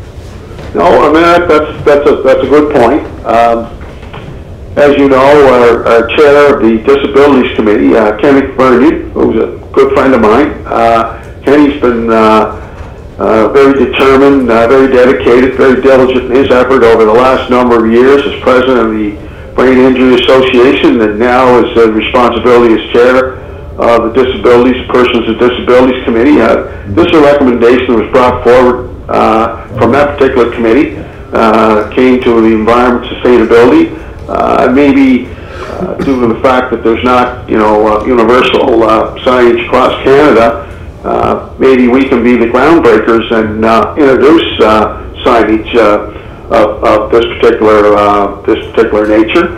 Uh, we do we do have our police uh, enforce uh, wearing helmets in the city of Charlottetown, and uh, signage uh, would, to my mind, be consistent with uh, our, our, our bylaw uh, to encourage uh, cyclists to uh, to uh, when they're out riding their bike or they're out cycling, whether it's passive or being active, to, to, to wear a helmet. Uh, as you know, we still have people in our city that haven't gotten the message, and, and they're still riding their bikes without helmets. And, and Kenny is uh, looking for any instrument, any device, any uh, anything that would create that incentive and illustrate further how important it is to wear a helmet. So that's why we uh, discussed it at the Environment Sustainability Committee and made the recommendation to forward it on to the uh, Public Works Committee. Uh, It's, it's certainly something that should be examined and, and maybe we can be the groundbreakers here in the city of Charlottetown. Councilor Bernard. Um, Councillor Tweel, I'm just going to make some comment on the active transportation trail too. Um, Obviously, it's good news, everybody's quite pleased about it. Um, And I should thank council, I know, this came through a few years ago, and uh, we had Minister Jameson, who should get the credit here too, because we had asked her for fifty percent of the funding to do the phase from Murchison Lane to St. Peter's Road. Um, which uh, I guess Steven Myers or Minister Myers was the Minister of Transportation at the time, and uh, between the two of them, they got the funding and was able to go ahead. So kudos to them. Um, The other thing is, I don't know if a lot of people know this or not, but John Andrews was the one who designed this trail we're putting in from Murchison Lane to go down to uh, Meadows Road. So- So phase one is done now. We passed the resolution last month to start phase two. Yeah. To go down uh, Melwood Road, then go to the bypass to Meadows Road. From Meadows Road, or, I'm sorry, Brackley Point Road. From Brackley Point Road to Meadows Road, hopefully we can do that in phase two. uh, Because it's already in field, it's just a matter of the pathway down. Um, That hooks on to the Confederation Trail, which then, as everybody knows, takes you right in town, and that takes you back. and- So there's a lot of connections. Uh, But I think uh, John Andrews deserves a little bit of credit. We put this thing together about five years ago, and I remember handing it to Ramona, and I think Ramona still has it in their file, so. Uh, Very Thank you to positive. the minister and, and uh, John Andrews. Very positive, Mr. Councilor. Okay, good. Did you? I did see it. Do you want to make a comment? Please, Um, please. Um, Councilor Bernard kind of beat me to it, but um, just to build on what he had said, kudos to him as councilor in the area who certainly um, worked pretty diligently on this project as well, so. Thank you. And it's, it's going right up the Mountain Road, so it's beauty. It's gonna be nice. So, thank you, Councilor Tweel. Okay, strategic, uh, No, areas. am I ahead there? and finance ratio. Oh, finance. No, no, No, strategic priorities. Yeah. I see it right here, sir. Okay, I have a finance. Oh, no, no. You can question the chair anytime. Strategic priorities and intergovernment cooperation committee did not meet the last month. There's a notice of motion. This is to renew the notice of motion to amend the procedure bylaw at the next regular council. meeting. Any questions? Fine answer. No, but Council Ramsay, I just want to say one thing. Yes, sir. This was really good news UPEI to start the process to open a new medical school. Yes, we were here with that. And the meeting. resolution came from this council. So I was at the announcement last Friday, and there were approximately 150 uh, participants, all positive. They plan to expand the uh, uh, School of Nursing, so it's really good news for the city. And in the same paper, EI changes, again, supported by this council, I believe through strategic priorities. It's now one system right across the country. So everything we've been pushing for is coming to fruition. And as you know, That's- your worship. with the That's medical- government, government in action. And as you know, your worship at the medical school, we met, I think you were here, Counselor, you? No. There was yourself and I and the. Councilor Tweel. Oh, yeah, Counselor Tweel. He- he- Yeah, you and I were all here. And it was a closed session. And we we're very pleased to went ahead with the announcement, which was fantastic news that they, Great. they're so excited. Thank you, sir. Thank you. Okay. No Questions? What, what's the procedural bylaw? What's the amendment? Do you have that, uh, Councilor? It's just a, it's a, just a renewal because you have to have uh, a one-month notice. There was a motion. It's just a renewal. Yes. Did you hear that, Counselor Tweel? Just a renewal? You're gonna bring up the What, next what does meeting? the renewal consist of? It'll be brought back at the next meeting, Your Worship. It's just uh, the notice of motion that there is a, uh, there is amendments coming forward. Okay, so Councilor Tweel, you're on the committee, right? Yeah, I just wanted to find out Okay. what they were. Finance, audit. Thank you, sir, Councilor Deputy Mayor. Uh, Thank you, your worship. Our uh, committee met and the report is in your package. Um, There's no resolutions this month through finance, um, but there is a set of uh, reading papers attached. And also the uh, financial statements were emailed out there this morning, late this morning, and a, and a paper copy is placed on everyone's desk for, for them to review. Your worship, if there's any questions, I'll uh, do my best to answer. And we have the acting manager of finance, Nancy McCray here. Any questions? Yes, I have a question. Thank you, Councilor Tweel. Just a couple of questions. Um, A couple of months ago, Deputy Mayor Coady, I brought up the, the issue of uh, emergency funding and, and how that, uh, how that uh, funding uh, uh, functions. Um, What, what's the process? What does it consist of? Who makes the decision when it comes to emergency funding with regards to uh, the various departments within the city's corporation? That's my first question, sir. Yeah. Ah, thank you, Councilor Tweel. We didn't discuss that at our, at our committee, but um, I'll have to get you an answer here from either the, uh, the manager or Staff. or staff. Yeah. Second question there, Councilor Tweel. Yes, so the second question is, is regarding the, uh, the issue with uh, Enterprise PEI and the uh, PEI Automobiles Association and their uh, further inquiry as to uh, what the intentions are of the city. As you know, a resolution was passed by, by city council. I think it was a 4-3 vote. And then I believe there was an intention by some members of council, uh, I'm not sure the particulars, uh, to rescind that resolution, and I was wondering, sir, if you can give me a progress report. That's not enterprise PEI, that's enterprise uh, fleet management.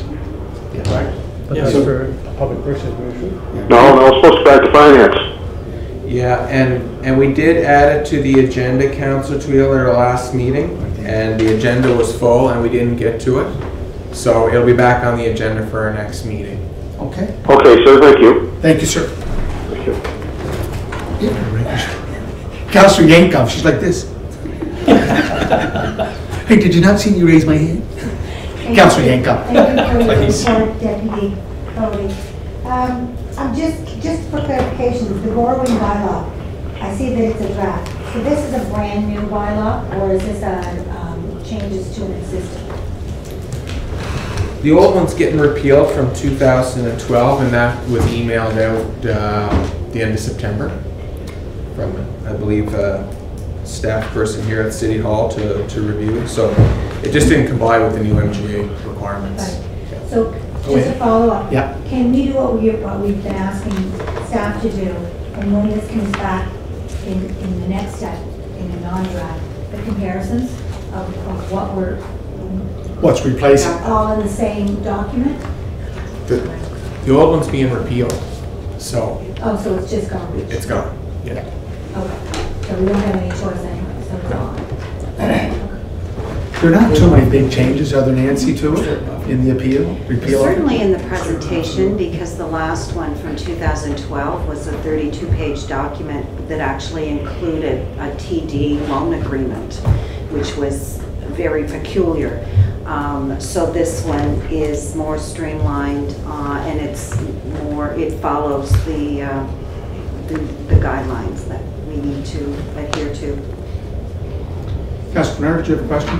Uh, yes, just question. I Just wondered, um, and that's the council trail, alluded to it. Um, I know there's a lot of things in the finance committee that would be in closed session, but there's obviously a lot of stuff that's being talked about that's not closed session. I'm wondering why we, we, we- whenever there's a closed session, do we not put on the agenda what's being talked about, even though it's behind closed session? And if not, it'd be nice, because of all 10 elected officials here, nobody knows what's going on in finance at all. Nobody knows what's talked about. They just, open up, it says, we went to section 119, everything's closed. There's no information in it. And it, it, the enterprise fleet management is a good example. Public Works can talk about it in the open session. I'm not sure why finance can't. But That's just an example. There's got to be some things there. That are at consistent. at the end of what, what the topic, it doesn't, if it's a closed session, then so be it, it's a closed session. Deputy, do you want to address that, or Nancy? What's, what's your response? To put an agenda in for a closed session, Mm. yeah, we can have that. I mean- Because I think we do it for Parks and Recreation, we Yeah. do it for all the other, I think we're supposed to. We Well, should know that's- if you have a question to ask. uh, I, I know Don't even know Mr. Kelly attends the Everybody got meetings. Is is that in the MGA, Mr. Kelly, to put it in the? Your Worship, you you are supposed to note when you go into closed and session under what a section A through H, and so, which is quite uh, noted. At times, it's not very specific, but it is under the category. If council wants more specificity, we can put that in, your worship.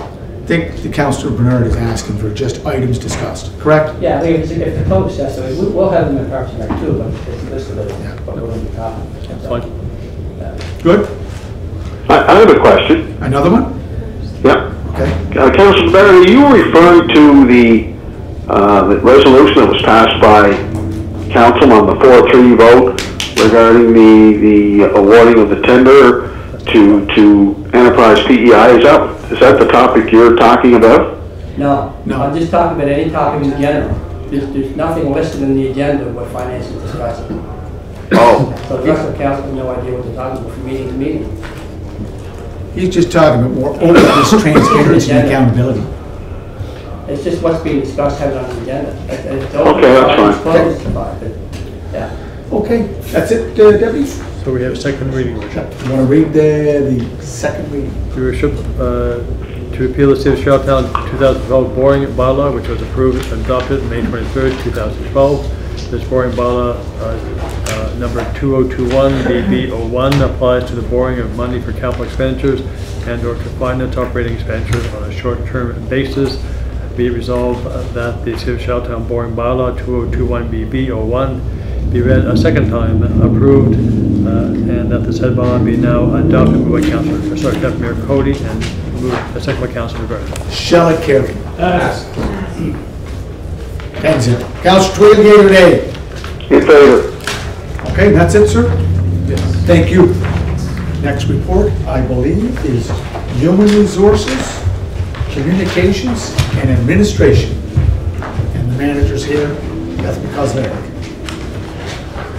Do you have anything to add to it here?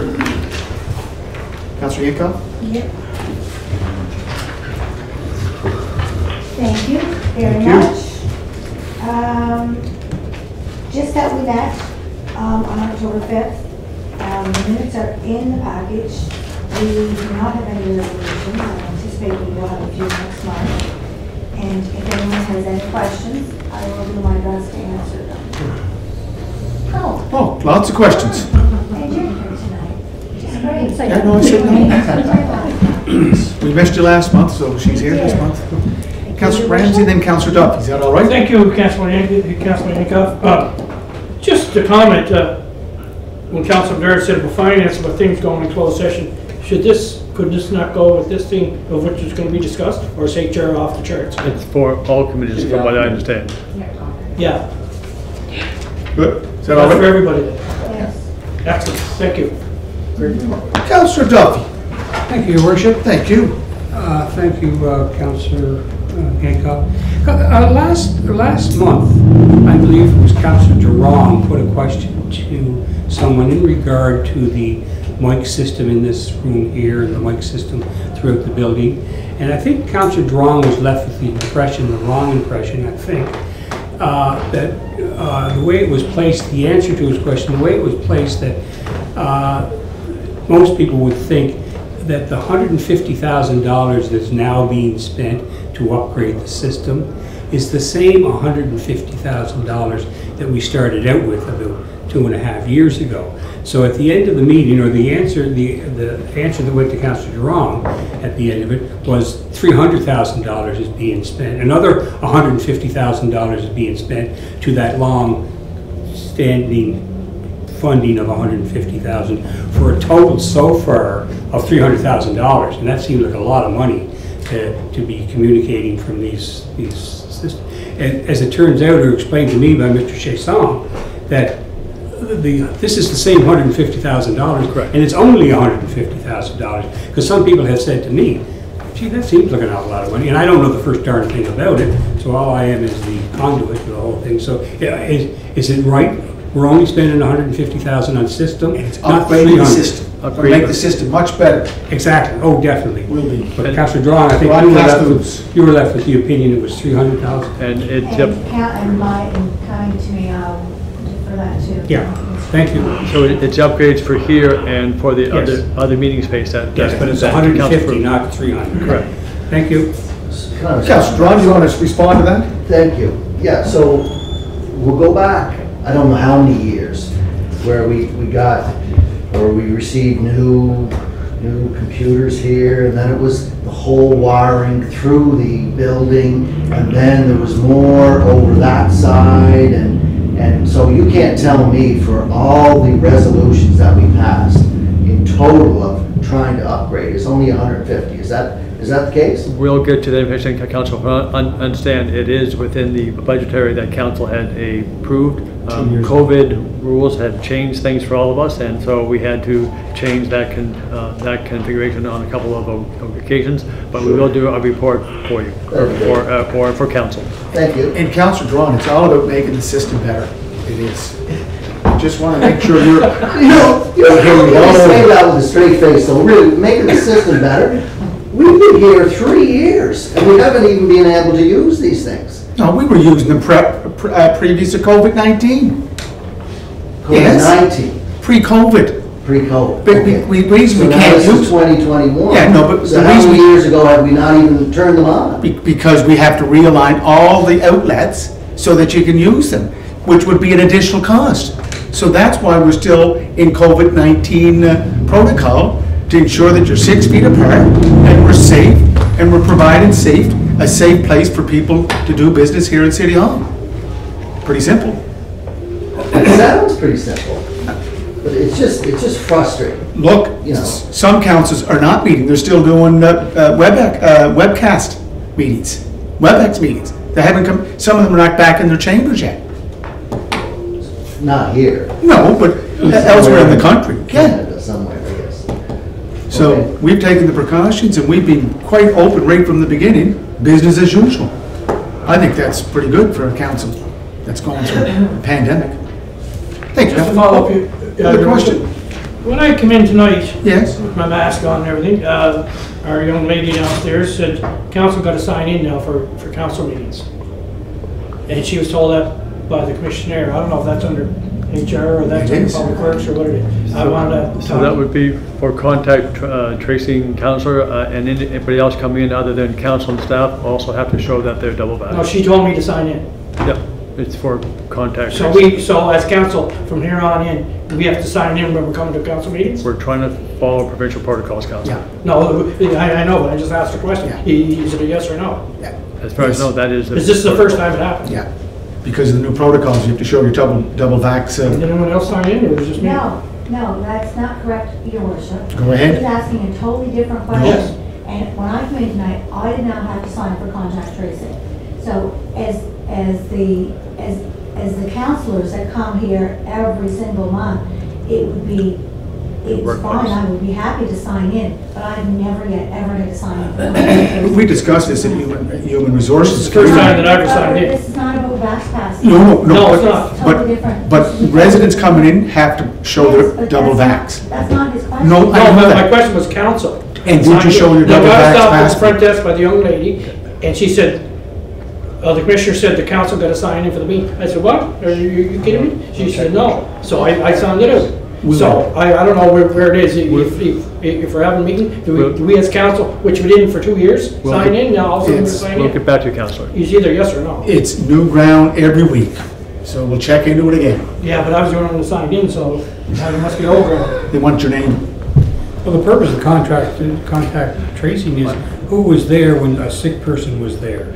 And just look at the tape of the, of the meeting, you see, you don't have to sign in, So- you're here, and you're on the tape and you're speaking. So we'll go back and check why that happened, Counselor, Very again. well could have been that the person didn't know the tax and Oh, no, she knew me. It's, she, It's the same girl from down State, she's there every day. So we'll, then, Counsel, we'll, we'll we'll get back to you. thank you, Bethany.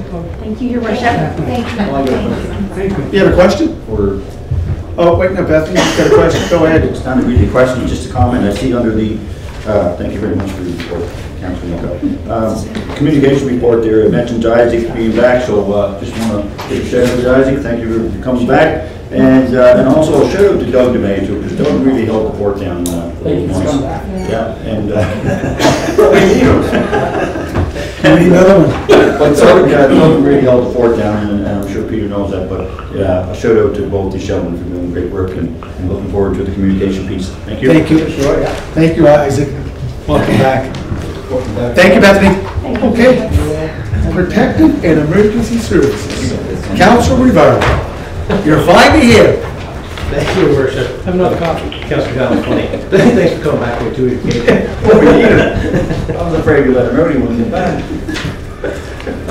All right, Casper Grant here. Protective Emergency Services Committee met on September 28, 2021. Minutes are in your package as usual. Uh, No resolutions uh, for tonight, but you will notice uh, that uh, new Chief uh, McConnell uh, and staff uh, provided uh, new statistical information in your packages. I don't know if you've noticed that or not. Um, I guess, you know, once council had, has had a chance to review, look at it, um, you know, we certainly like some feedback, whether or not this is, uh, you know, good information, um, and helpful information, or if it should be done in a different way, but, uh, any feedback would be, uh, would be appreciated, and if there's any questions, I'll be happy to answer. Thank you. Councilor Duffy. Thank you, worship. Thank you, uh, Councilor Rivard, for your, your report. Uh, Councilor Rivard, eh, as you know, I've been trying for 13 months to get a particular property cleaned up uh, in the city of Charlottetown. I brought it to the committee a couple of times. It's on University Avenue. We have great plans for University Avenue with uh, improving the surrounding area and, and make it truly a, a, a very close entry to the city. The Particular property in case is uh, 282 and 284 University Avenue.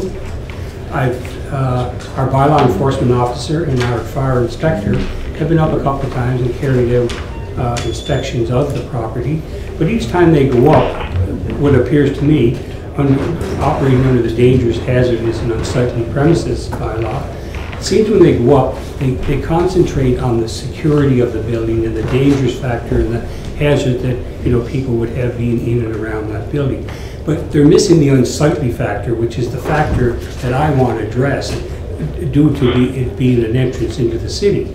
Uh, And it's been going on for 13 months. I get questions all the time about it. I get complaints about it all the time. So in a frustration, I go to the bylaw to read what I can do to remedy, remedy this for once and for all and get some action.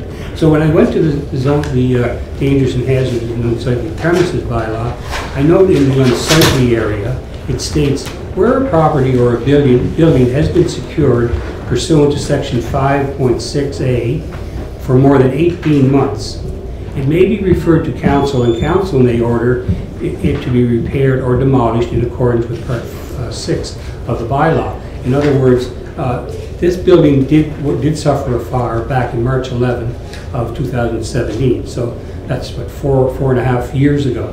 It well exceeds the 18 month. All I'm looking for is to clean the place up and, and present it, in- to make it presentable to not not only residents, but visitors coming into our city.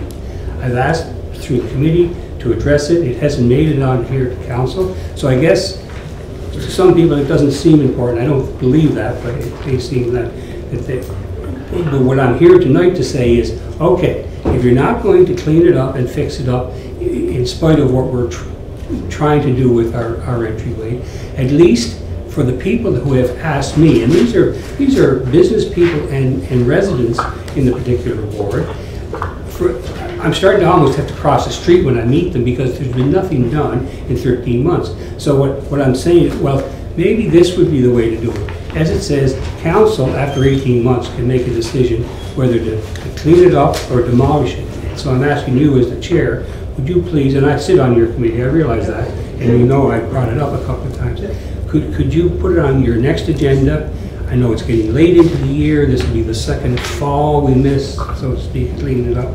But something has to be done way or the, one way or the other, or the general public has to be let know the council has decided, no, they're not doing anything. Thank you, thank you very much. Will?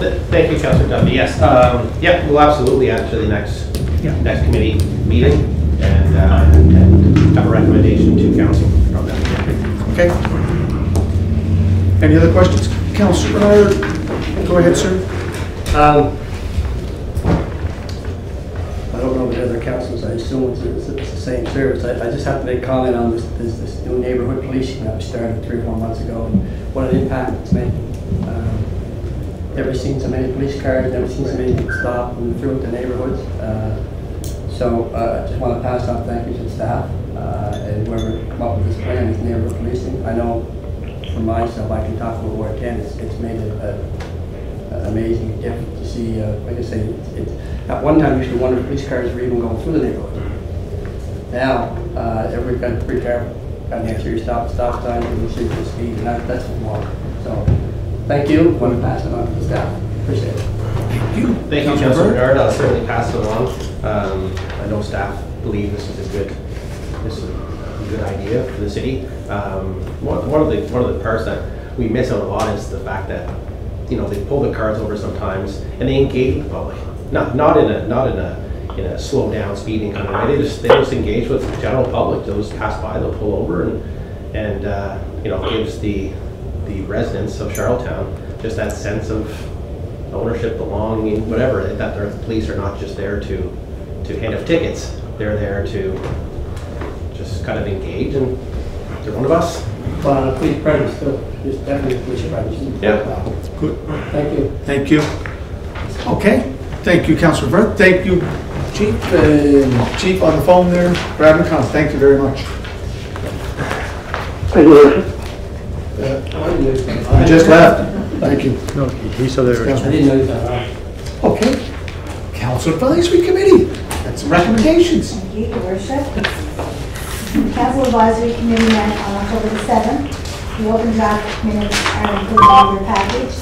And I should comment that um, we will have to do the same thing that was asked to finance and include at least an agenda uh, closed um, sessions as well in that. There, you'll, you'll have will have notes in your package that we have two resolutions for council's consideration.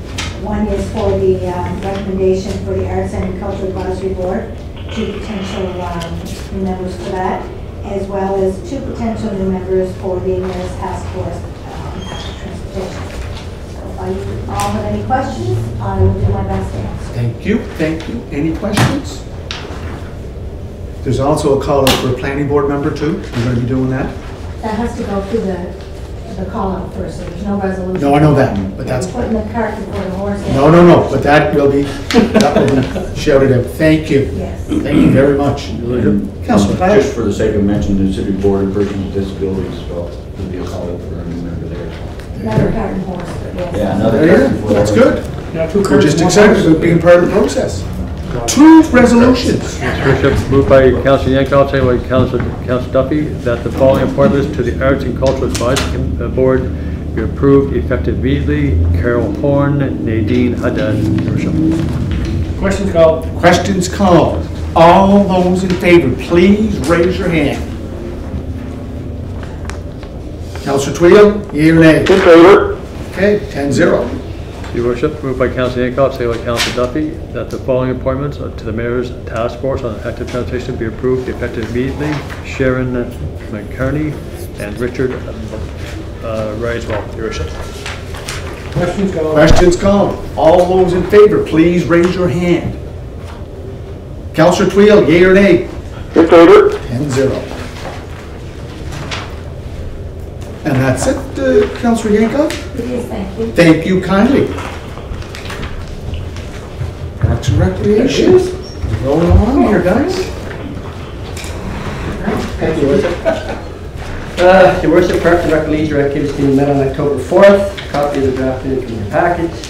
Um, This is just, I want to give some further information on the minutes that are in the package. Um, The applications for Investment Canada Infrastructure Program, what we call ICIP funding applications, uh, namely the Victoria Park Shoreline Protection Project and the new outdoor multipurpose facility, in for West Royalty, have uh, not received approvals yet. Uh, With the call for the federal election, all funding applications were placed on hold, which uh, delayed project decisions and announcements. So we're told that, uh, that we're hoping to hear announcements uh, from those applications by middle November. Good. Which they have to announce the cabinet. and- Yeah, I know. Yeah. Thank the minister. Yeah, so those were, were obviously, as in every election, those were put on hold. So, your worship, we're hopeful to receive uh, positive news for these projects soon so we can move forward with projects. Um, Also, as you were aware, the new Simmons Arena replacement project is in the final design stage. Uh, We have asked the consultants to revise the interior plans to move the walking track uh, up to the second level. Uh, This obviously required quite a bit of engineering to reconfigure, requiring more time, and I understand now we're very close to completion of the final design. Um, Your worship, in the minutes there, uh, page three, uh, under the outdoor multi-sport facilities, some discussion about the puck boards that that you brought up. Um, They were sold. So, uh, I guess you recorded in the minutes here as saying that all the puck boards in Eastlink Center were discarded and no one communicated with Eastlink Center. We know that, that that's not the case. No, they were There sold. There was communication, there was puck board saved, and the metal that, that holds the board up, uh, was all, uh, that had to be discarded, that was taken to, uh, scrap metal and ANS. money into the uh, capital budget. So, um, But nothing was salvaged. We, we didn't get any, any, any materials. Everything was sold off by the contractor, I believe, right? Everything that was salvageable was, was sold. Yeah, puckboard, the puckboard that was salvageable was sold also, what, what they could sell.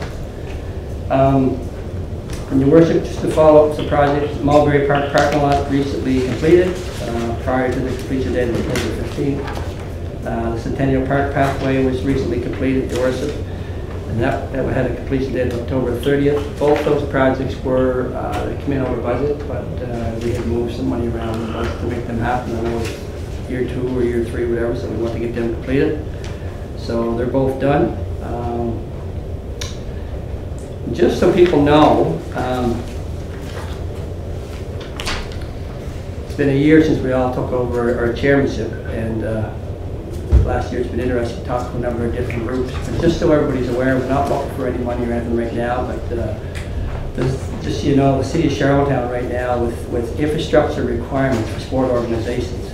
um, We know now that we're uh, two soccer fields below what we need. And That's for the Sherwood Parkdale Rangers. Uh, West Road, Charlottetown Soccer is looking for, uh, has a need for a- a a mini soccer field.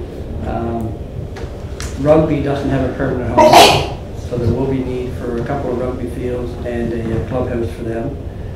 Uh, Baseball PEI has contacted me. Uh, We are two, they say minimum, two ball fields short now.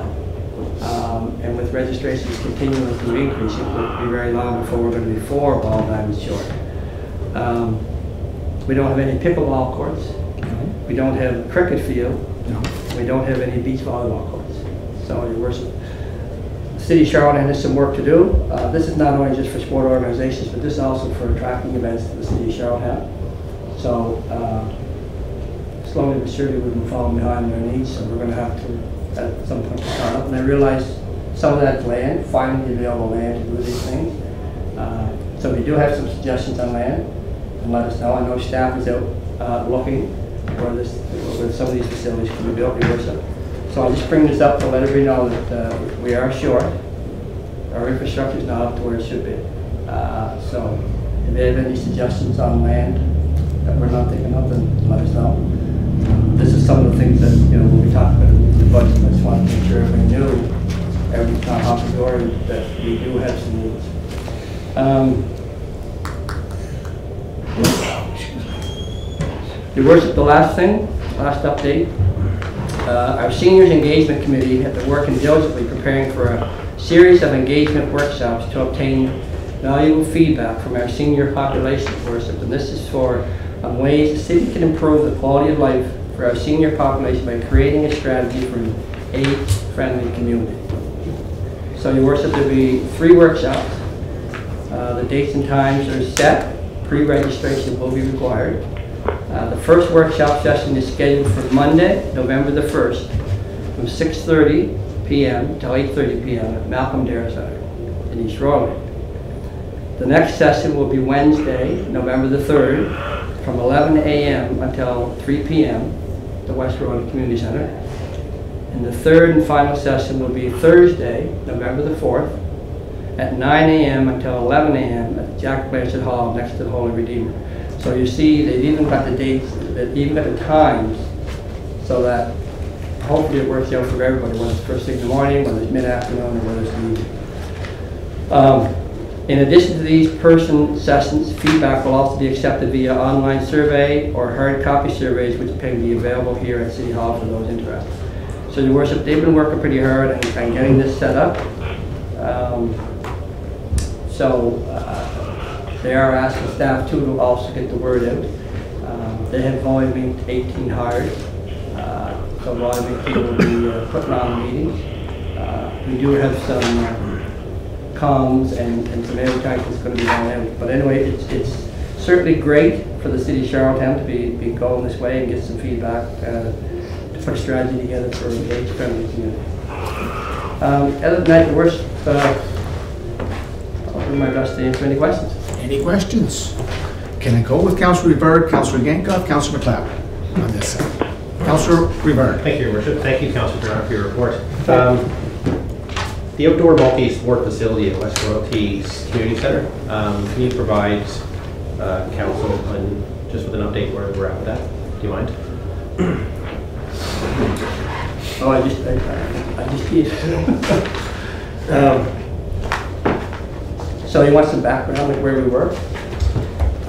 I I guess, Council, sorry, Councilor maybe I'll just, instead of just asking such a broad question.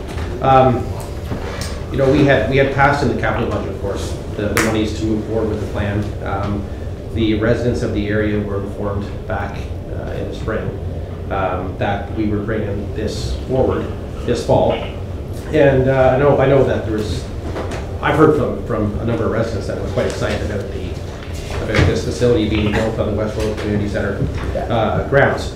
So, you know, the summer's passed, um, and then, you know, we're in the 11th hour, you know, nothing's happening, of course, so people are starting to call, start to ask questions, just on the streets, whatever it may be, uh, with regards to, you know, when work's gonna start. Uh, My understanding is, is that uh, we have an application to ACOA.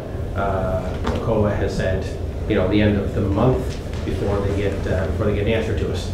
And I guess, you know, I see a lot of other work happening, and I'm just curious why, you know, this, this project wasn't, you know, be, um, something really pushed to have done, and, uh, you know, started at least.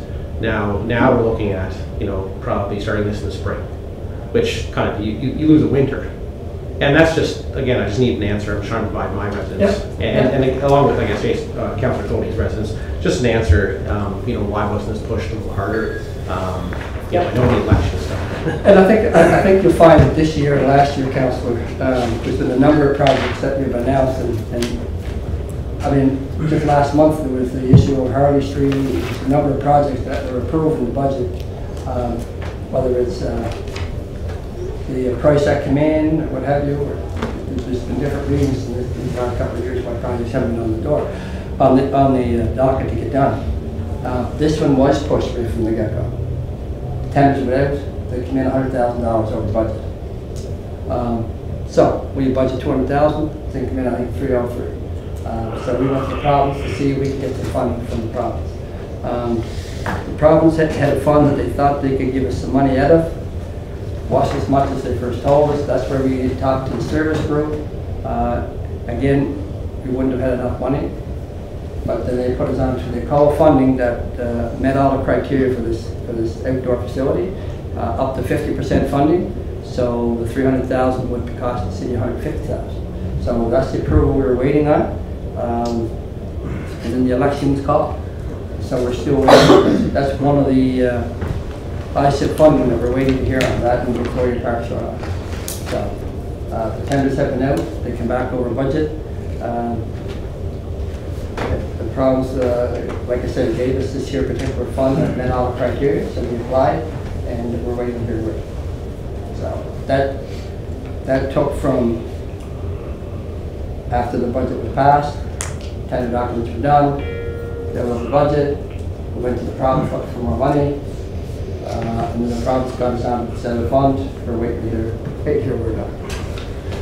Follow-up question, sir? Yeah, Thank you, Your Worship. Thank you, Councilor Bernard, for the explanation. So let's assume that ACOA comes back and there's, and there's no money available. I mean. And there's what? There's no monies available.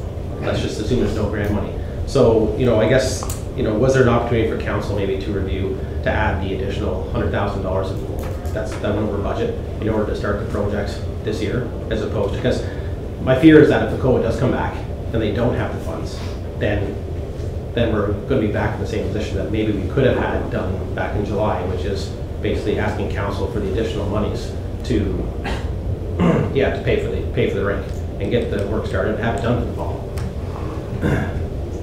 Well, I guess you could ask that any project that, that hasn't been done. I mean, I, I could probably list five projects that were over budget that never got done. Uh, we try and pursue, like, you look at Centennial Park from Mulberry, they're both over budget. We move money around within the budget to get them, get them done. Do we have a hundred thousand dollars to move? No. Um, do you run rate the finance and ask for a hundred thousand dollars? Probably could have. I mean, there's all kinds of other projects, and people are gonna be asking, well, why that one? And not these other projects? So we felt it diligent to go to the province and see if they had funding, and it looked like, yes, they did. So, um, but the fund that we, when we first talked to them, didn't have the amount left in it that we needed.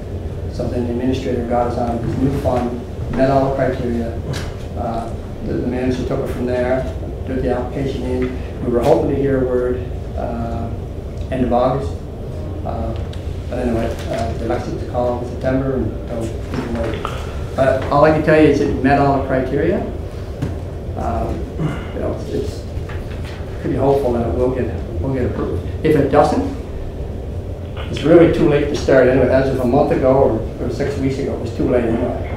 So, um, if it doesn't get approved, then it becomes part of the budget consultation for, uh, 2022. And, uh, so, I suspect, Frank, correct me if I'm wrong, I suspect that, uh, when we got our prices early in the year, when lumber was through the roof, now lumber has come down, so the prices will probably be more favorable than the three hundred thousand dollars. Uh, That is possibly, possibly worship, but we would have to go to retender next year to see if that is the case.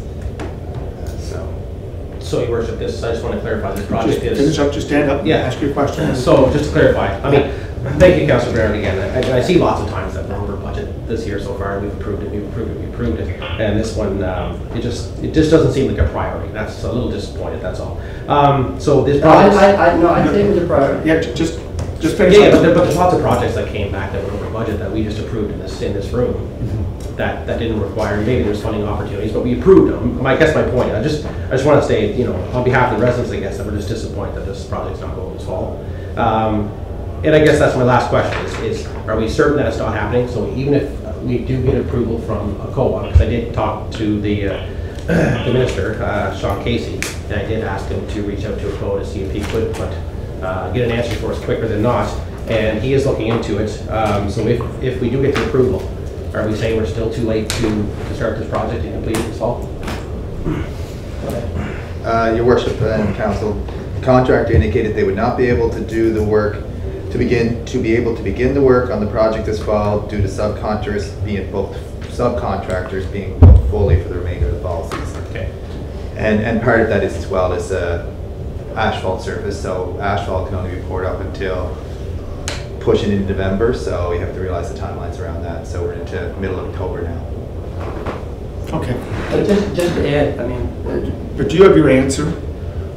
I I do, I do, I guess that the, uh, I'll let Councilor Bernard go, I just want to say one more quick thing. Okay, go ahead, Councilor Bernard. No, Yeah, no, the no. only other thing I want to add is, uh, you know, to say what's a priority, well, that's, that's like saying Victoria Park shoreline protection is not a priority.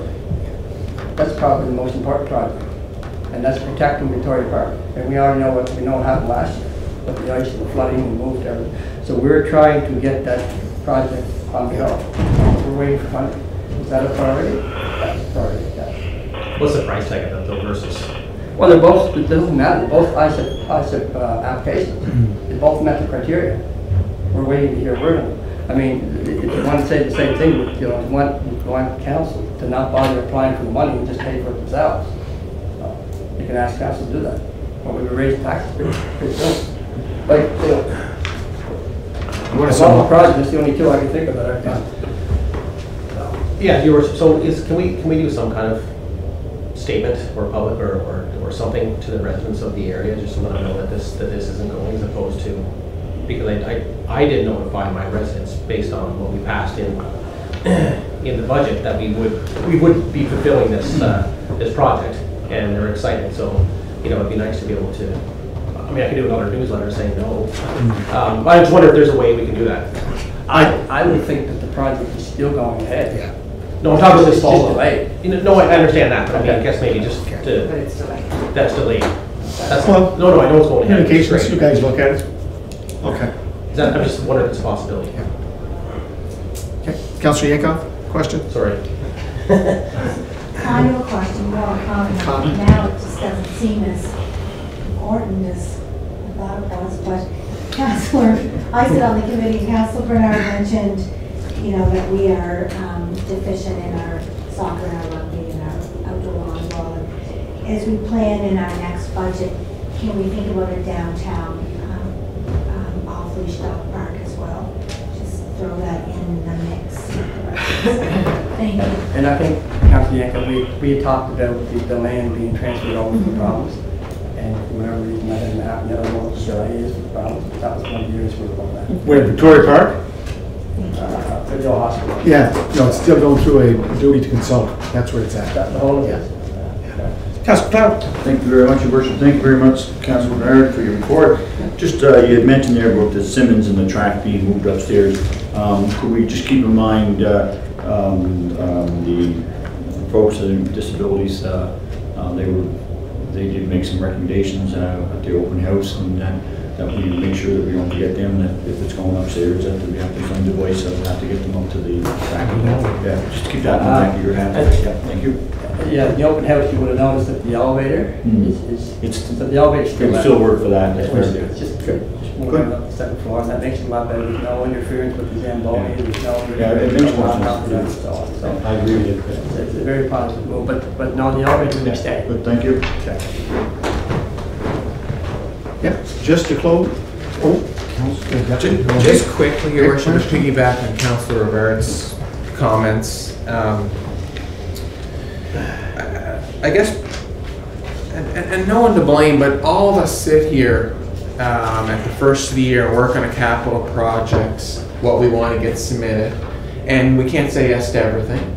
So the list gets shortened up. So when you get a project on the capital expenditure list, you're hoping that it comes to fruition, whether it's however many streets gonna be paved, whether it's a new ball field or, so, so part of it is, is, is getting it approved in this room.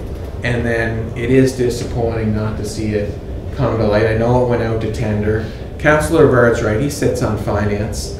we, we approve budget transfers almost every month. So we could have looked at an internal budget transfer to make this project a goal this year. Like, he- he's right, we're missing out, we're missing out on a season, and that's gonna prolong another community for missing out on another, say, just snowballs from, from there. Like I say, it's, when you get it on the capital project list, it's nice to, nice to put a check mark beside it and get it, get it completed. Okay, Okay, so, you know what? I realize how important the facility is. The Gordy Griffin one's gone over well. I understand we want to build one. But you know what? We come back here in July and told you it's over budget. Nobody jumped up and said, oh, let's take the finance, get some more money. No, we told you we we're going to the problems, try and get money. Nobody said a thing then. You know what? We're still waiting on that. So yeah, you know what? Are we disappointed? Yeah. Is it gonna happen next year? I would say so.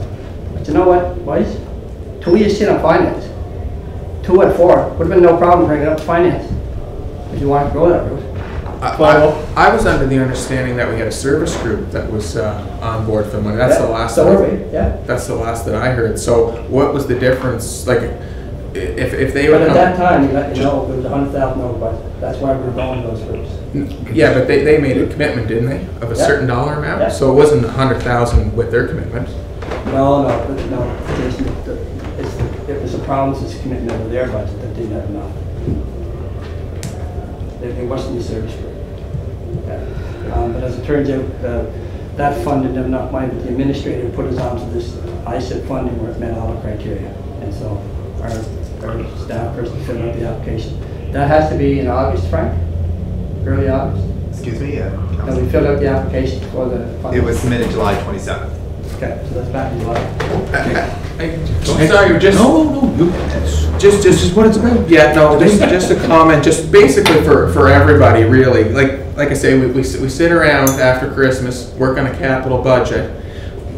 Going forward, and it's nice to have everything going forward, we have a great big capital expenditure list. But maybe we should be a little bit more realistic in terms of what we can get accomplished within that twelve-month period, so we're not creating expectations out in the community. It could be anywhere, right? Any, anyone's, anyone's board. Just finish up for the council. Yeah, and I will, and, and, and I understand what you're saying, and I think, you know, that, that's why I started off by saying, if you look at the last two years, you see a lot of projects that, uh, exploded beyond expectations of the cost. So when we, when we do, uh, estimate, estimate cost, it's based on the year before. So I think a, a number of the projects, know last year, a number of projects were, were, were well in the budget, and a number, a of things were pushed out to this year. Uh, the same thing with this particular project and some others that we talked about last month. Uh, I understand what you're saying, but I think COVID-19 has exacerbated the, uh, the, the cost of a lot of our projects. So, is it unfortunate? Yeah. Will it get done? I would expect that it will. We put the application in, I didn't know it was that, early, but July 27th. I mean, that's, that's quite a while ago, so we've been waiting, we've been waiting work until July 27th, so we can give them the files. And that's what they call it. August, and the elections called the end of August. So, we were hopeful we would have heard word back sooner than that, but I guess that, Okay. yeah, And that's it. just wanted to say, Councillor Bernard, on the 21st of September, the staff from Parks and Recreation were a big help to the celebration of the 20th anniversary of the Joe Ghiz Park. Councillors uh, Ramsay and Jankov were there, the deputy with it, were all in, were also in attendance. Uh, Rose Ellen Ghiz and Joanne and the Ghiz family, and they were very appreciative of the, the work that Marlene Brighton and the city has done over the last 20 years. So I wanted to thank, thank the staff and councilors that showed up. Thank you. Yep. Thank you. Okay, are we all ready to go? Good? Okay. Water consumed. this is uh, Councilor Ron. Okay. Thank you, Your Worship. Uh, so to say the Water and Sewer Utility Committee uh, met on September 16th, and the minutes are included in your package. We don't have any resolutions for your consideration, but the manager has has delightfully pointed out to me that we have over a thousand people now signed up for electronic billing, so that's a, it's a very big deal, especially for, for our department. So anybody has any questions or concerns, I'll try to answer them as best I can. Thank you. Councilor Jankov. Thank you.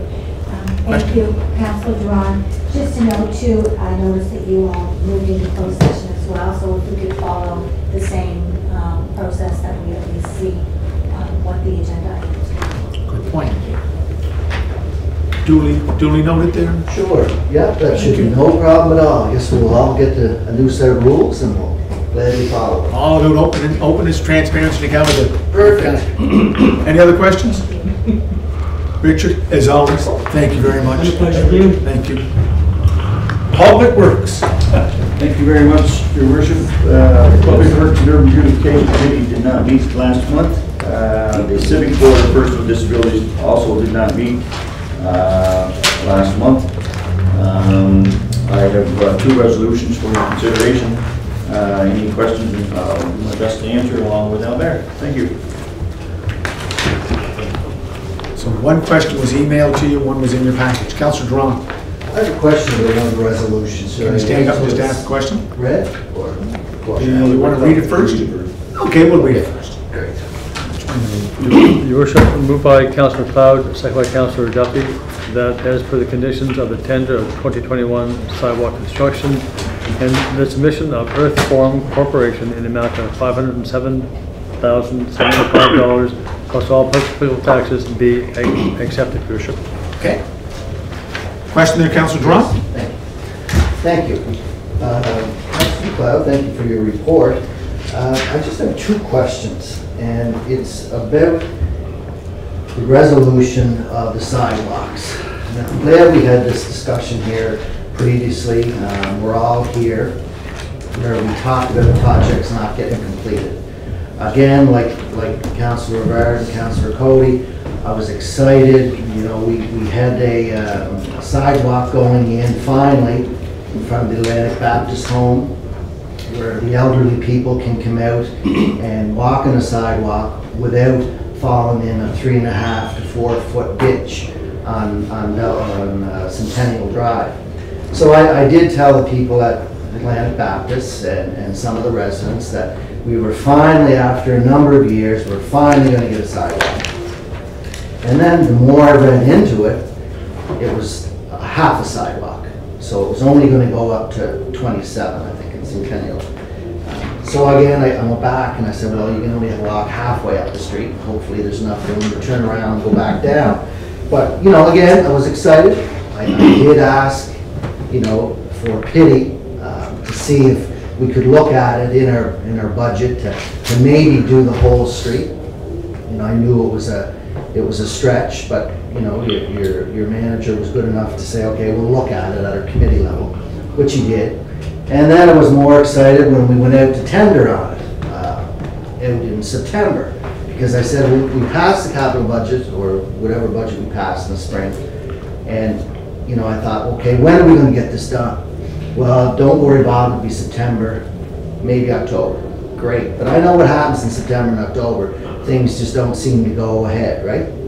So I was cautiously optimistic. And when the tender went out and came back, thinking, okay, what, what, what's this now? Now we're way over, which I understand. But it comes back to, there were six projects that went to tender, and we agreed on two, or your committee agreed to send it to, to council to approve. Now, I, I- don't see what the cost in the other four projects were. And again, why were these two projects, you know, picked more so than, than in this area? And like I say, for, for, for myself, it's been a struggle for four or five years asking for Centennial Drive. Um, You know, in, my- in my estimate, it's a safety concern because the elderly people don't have anywheres to go in a wheelchair. If they go across the street, it's a three and a half to four foot ditch there. So when it just comes back and says, okay, we're cutting those four and no explanations, I'm just like, wow, like, it's not right. It's not right that you wait and wait and wait, you know, for something that's finally approved and you don't get it. But I guess I hear it from everybody else, you know, but that, that they're not getting approved and it's frustrating. But could you explain, like, the process and the pricing of the other four and the process that came to picking these two? Thank you very much, Councilor Doiron, for your question. Um, I'll start by um, I mean, what I can tell you about it, and then I'll let Albert take over because um, staff did the recommendation, um, and then went on to planning board. But, um, so, um, what I'm told is that the, the uh, time it took for the engineers to design took a lot longer, for one. Then, so then, by the time they got that, it became then the actual, who's gonna do the construction work, and that come back way overpriced on all six projects. Um, In this case, we're, we're lucky we, we managed to have, I'm sorry, this one, we only had the, the one submission, sorry, and, and uh, that makes it even difficult, and I think a lot of times what's happening here in Colbert is they just throw that number out there hoping, you know, they don't want it, right? But they don't want the job, there's a bit, but because they were the only tender, the city has no, no, no recourse but to accept the tender. So, for, for the best of the city, I think staff decided that, you know, this is crazy, we gotta send these back and get better pricing next year, and I think that's, that's what I've been told, uh, Councilor Doiron. And, and I'll, I'll let, uh, I'll let Albert take over, but, um, just to be clear, folks, like, I had nothing to do with who picked what, I stay out of that. Um, these, I have no idea, and the pricing would be a good idea, um, of the other projects, just so that the council could, could have a, have a, you know, eyesight into what's going on, but, but at the end- at the end of the day, I think we're hearing from all the departments, our tendering process takes longer, and I said to Albert last week, we need to change how we think about this stuff, and, and we, we get everybody's expectations up. But I think we need to engineer one year and go to tender on the actual work the following year. Then the expectations would be so bad, like the rink is another example, right? By the time you get through all that, then you go and, and then of course we find that we don't have money, now we gotta go look for more money. So it's kind of the same thing, that, you know, uh, and we're borrowing money to do these projects. Like, there wasn't even enough money to do the two streets. We're actually borrowing money from, from the other uh, parts of the, uh, Ken's Corner and, and. Fire station. And the fire station to even just do the two streets. So, uh, Mayor Albert, I'll let you take it over. Good, thank you. Sure. So, yeah, so originally there were six streets that were uh, going to be done, and they were all designed, so the tenders came back, the design is back. Um, Once we got some quotes back from the engineer on how how these were gonna be priced, we had a feeling that we probably wouldn't be able to do everything, so we put a stipulation in the tender specifications that one or none of these streets may go, so bid them individually, so that once the bids came back, we could decide which ones to pick. Um, Greenfield Avenue was picked because it's been, it's on our paving list this year to repave that street. So we already have money allocated to repave that street and we want to uh, do the sidewalk and curbing along there. Um, That's also been pushed about two years. It was on the 2019 list for the sidewalks and paving. It's pushed to this year because we couldn't get the sidewalks done. Um, After that, we had Centennial Drive in Belmont were the only other two streets that currently don't have sidewalks on them. So between those two, we tried to see which one was cheaper. And Centennial Drive came at 305,000. Belmont was 217. So because Belmont was $87,825 cheaper and we're already over budget, we need to borrow 21,705 from Kent's Corner. Instead of borrowing 101, or whatever it may be, we went with uh, Belmont because it was cheaper. That being said, the rest of these streets, like Grafton Street is on there already. It currently has sidewalks, so it's a removal and replacement. Lincoln and Sandstone are on there as well, and those currently have sidewalks on them. So we, you know, staffing at Public Works looked at it and we said, those three streets can wait, we can retender in the spring, rebudget it next year and hope, you know, put it out earlier, get more than one bid, and have those done, along with Centennial. But, yeah, at the end it came to, we had two streets that needed to be done, and we, we picked the one that was cheaper, so we would have to borrow less money. Follow-up question there, Councilor. Yeah, so you said the, the design. I know we did the design on Centennial a few years ago. Now, w- would that be put in a locker somewhere? Does anybody have that, or? I'm not aware that that was done. Okay. I, I didn't look into that. So they, they did come out and peg that one, and then they pegged uh, Elizabeth Street as well, I think, over by Parkview Drive. Right. So, so, you know, this was the design, was done, And then when I asked, well, what happened? Well, we had a change of committee or a change of direction, so Centennial wasn't done at that time. So this time, the ninety thousand was put in the budget, so that's approved, I show them, and then you come back, well, no, you missed it again. So what, where does that ninety thousand, does it just go to the pot? So the, all the money that was allocated for the sidewalk, so the ninety thousand for, we had allocated different amounts for each street, which that comes to about four hundred and eighty-six. All of that is going to Greenfield and Belmont for this year. Plus, we're borrowing twenty-one thousand seven hundred and five from Ken's Corner. So was this in the capital budget, all these, all these streets? Yes. So this was all approved in the budget? Yes. Yeah. And then we didn't go to tender till late September? So th- these were approved, these were budgeted, you know, it, it it was an estimate before we had the engineering design done. Okay. So, so this what I, I take back is the concern for this council, is, is we do meet in January, February to get the budgets in, and we're not going out to tender till, till late September. So what's the delay? Like, we're pressed to approve the budget, right? We jam it all in in six hours, we approve it, and then it's passed, and then nothing happens. So, and I'm not, I'm not saying it's your fault by any stretch of imagination, and you're doing a good job. I, I know we have other projects in, in my ward that I'm happy with, because again, it was a safety concern, right? And, and you come up with the money and you found the money, but this seems to be an ongoing project, or an ongoing problem, that I just, you know, again, like Councilor Rivard and Councilor Coady, hat in hand again, I'll have to phone Mr. Clow on Centennial Drive and tell him for the probably fifth year in a row, I lied, we're not getting it done again. No. So, you know, that's, that's the frustrating part. It's, it's, they think that you're, they have the old adage of counselors of years ago, that, hey, you know, Mr. Doiron, you know, a good friend, pave my street, fill my ditch, yeah, no problem, buddy, I'll look after you. But then when you come back and say, I'm trying, I'm trying, I'm trying, and you get the door slammed here, or the carpet pulled in from under you, it's pretty frustrating to go back again and say, listen, you know what, that I told you in the spring, I lied. You know, you can't do it. Al- Albert, can you look for those drawings that he's talking about, with the plans? Yeah, I'll Will see. you? Thanks.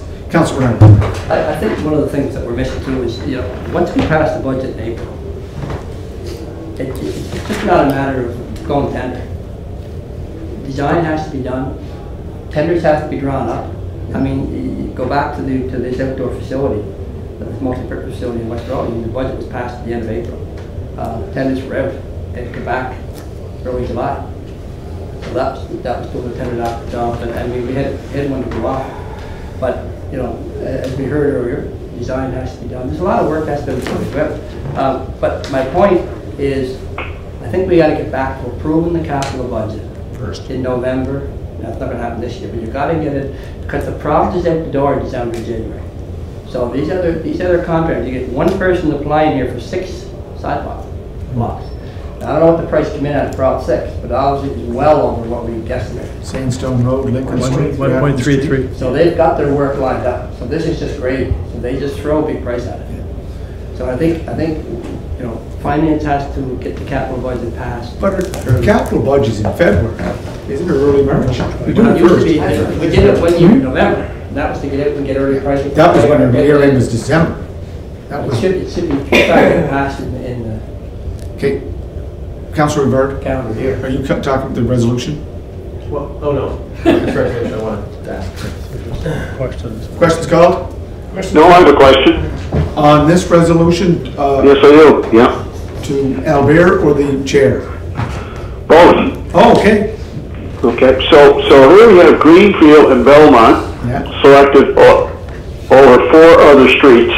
I know that I've been pursuing, uh, Passmore Street, the sidewalks are dangerous for the last two or three years. Uh, you know, we could end up with a lawsuit in our hands, brought that up during the budget. And so, so having said all of that, so who made the recommendation for Greenfield and Belmont? Was that the staff or was that the committee? Councilor MacLeod, Thank you very much, Council. staff or committee? Staff Okay. uh, made the recommendation uh, to the committee. Okay, second question, Councillor Tweel? Sa- Staff made the recommendation, uh, Councilor MacLeod, to the committee? Yeah, and uh, if you just heard Albert's explanation, he he just gave that explanation as to why they made that decision. Your second question to Mr. Albert. What's your question, Albert? I guess my second question is, um, you know, again, it goes back to the tendering process. Too often, it seems to be the same old story. You know, we, we, uh, we fight it out at council level to, to get projects approved, only to find out that they're not being tendered till, say, September or August or whatever the case may be, and the residents are left holding the bag. I mean, why, why does this, why does this continue to persist? In, in, in- in, in, in this, say, say this department, for example, and why is that? Who's, who's responsible here? Is it the staff or is it the committee? Like, why, why does this continue to go on? Because there's a, there's a tremendous amount of fr- frustration that's taking place here, and, you know, it's great to say, well, we're gonna pick two streets, uh, you know, and, and, and and then get on, get on with it, when you have four other streets plus, plus Passmore Street, nothing being done. Like, Okay, it's- Council- it's- Councilor MacLeod. It just seems like, it just seems like we're not very productive, we're not Councilor very MacLeod. progressive, and, and, and, and, and I don't know what the reason is. He's gonna give you the reason. So, so thank you again, Councilor Tweel, for your question. Um, it- This is totally frustrating, and uh, like I said to Albert, we need to come up with, I think in, in some ways, just because we passed in the capital budget, our expectations is that it's going to be done this year. Unfortunately, especially in this particular year of COVID, everything slowed down to a crawl. Engineer design took longer, the pricing came in way higher, and at the end result, we're sitting here being disappointed. Uh, And, but I will gladly take this back to the committee um, with your suggestions of frustration and and say, look, how can we do this so that when we go to talk next year capital budget, that we, you know, it, it should be a two, maybe a two-phase project, instead of just hoping to get all this work done one year, even though we passed the budget. It's probably being unrealistic, and we're, we're setting ourselves up to fail. Thank you. Questions called? Well, no, no, no, no, questions I got called. question. Councilor Tweel, questions called. You got your two questions. We have to move on. It's. I only asked one question, I only got to speak once. Yeah, there's another resolution coming up. Okay, we're gonna vote on the resolution, which is for the sidewalks, Greenfield and Belleville. Okay? All of those in favor? Your worship, just before we do that, I don't know if we're going down the wrong alley here. We did, we don't, we don't vote on operational things like paving. We advise council this is what's going to be done. Uh, and it should be the same with sidewalks, shouldn't it? Well, as the is. CAO, the CAO. Yes. No, we don't, we don't, ha- we don't have a resolution. Point of order, your worship, I wasn't allowed to ask a question. Hold on, we don't have a, we don't have a resolution. Point of resolution. order, Mr. Mayor. Asking for the permission to pave. the Point of order, Mr. Mayor. I wasn't allowed to speak, but you're letting Councilor Duffy speak. Why? Mr. Mr. Kelly, just explain the transfer of funds, where we're going with it. What is the, it's, the the reason the resolution's here because transfer of funds, correct? It- It's here, Your Worship, uh, to advise council that there wasn't sufficient budget. It was a $1.33 million response to a $486,000 tender. Uh, We had to scale back, so we're looking for the approval uh, to approve the 486 plus the transfer uh, from uh, the uh, Ken's Corner to complete the, to complete the work, to That's it. complete the work, Worship. Okay, all those in favor, please raise your hand. Councilor Tweel, yea or nay? Yay. Councilor Doiron, yea or nay? No. Nine one.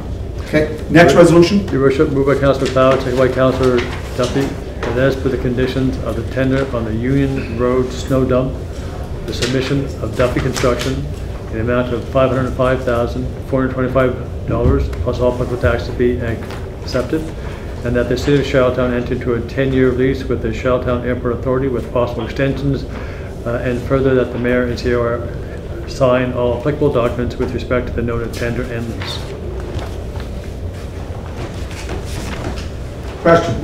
Was that, was that in the? Just, in- just hold, it. did you have a question, Deputy? Yeah. Okay, go ahead, and then you go. Yeah, sorry. Um, Thank, thank you for the resolution, Council. Guy. I'm just wondering, it says Math, Maths Construction disqualified. Are, are you able to say why they were disqualified and what their, what their bid was? I'll, I'll let the. Defer to staff. Albert? Uh, I, I, I don't know at the moment what their bid was, but they were disqualified because they didn't complete, uh, a section of the tender that was, that they needed to. Okay, an incomplete tender. Follow up, follow up. Okay, yeah, I, I guess I'm just a little surprised, because I know they've done work for the city in the past, I'm just surprised to see them disqualified here. I guess I am a little hesitant, uh, to spend half a million dollars on a piece of property that the city doesn't own, only to try and get a ten-year lease signed. I know the snow's gotta go somewhere, but that's pretty expensive. I mean, you look at a budget, hundred and we're borrowing, or have to move another four hundred thousand.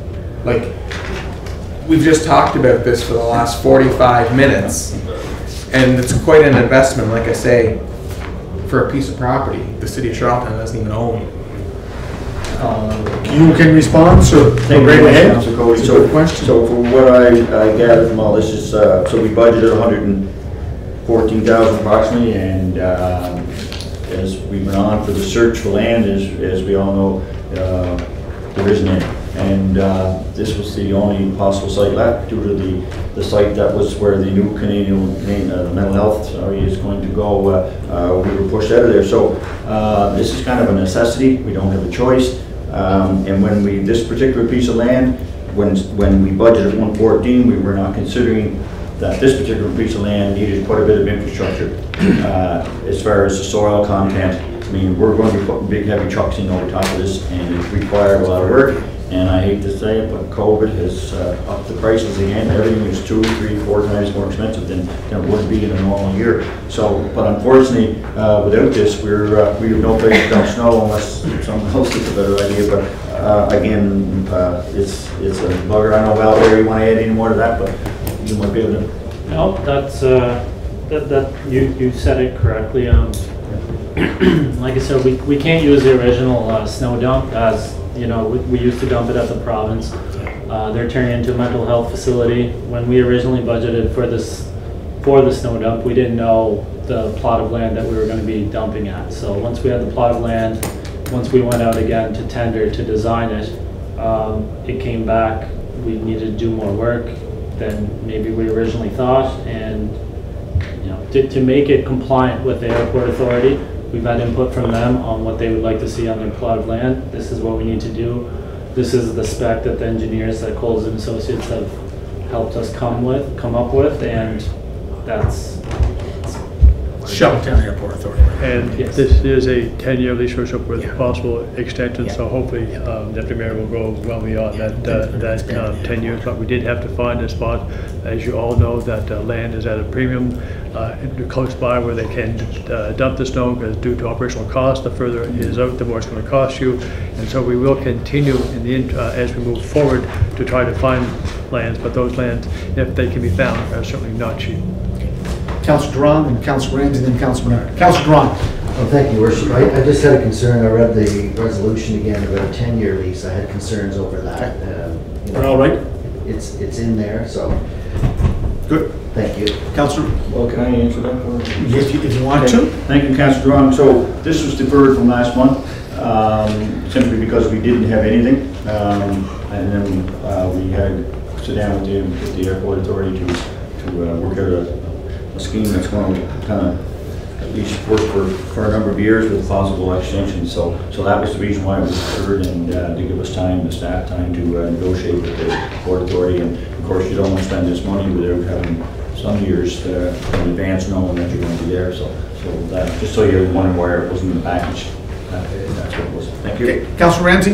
Thank you, and I sit on Public Works too, and like I'm like the deputy mayor too, like I was, wasn't too pleased with it because of property we do not own, where we're spending half a million dollars. But this is all for infrastructure, am I correct? Did you explain that? yes, yes. I mean, to lead to the site, Yeah. clean the site up. So That's this is a one-shot deal. It's five hundred five thousand dollars? Yeah, th- this doesn't, yeah, this doesn't incorporate uh, the lease. The lease is- is separate, so the 500 is, is just to plan and do the site work, all the fill material. And we're not spending uh, half a million dollars again next year and half a million dollars the following year and all. Okay, just want to clarify that for the rest of the Okay, Councilor Bernard? Um, I'm just wondering, do you have a timeline on when the infrastructure work will be completed? You want to answer that, there, please? Yeah, um, I, I had conversations with the contractor and it should be, you know, three weeks. If we do award it today, they, they can get it done fairly quick before the snow comes. Good. About half- Have to be, yeah. Question? I said, has to be. The, um, Another question? is, is the lease just for a dollar? Dollar a year. It's a dollar a year plus the percent of, uh, of property tax. So that this is about uh, fifteen percent of the overall piece of property from what we understand. So it'll be fifteen percent of the value of that ta- tax on that, uh, on that resource land. Right, so this, this, this five hundred plus is to uh, prepare the site to be able to get in there. Just do the work. stuff, so- Correct. It's a potato field, right? And We're turning it in from a, turning it from a potato field into a snow dump. Correct. Okay.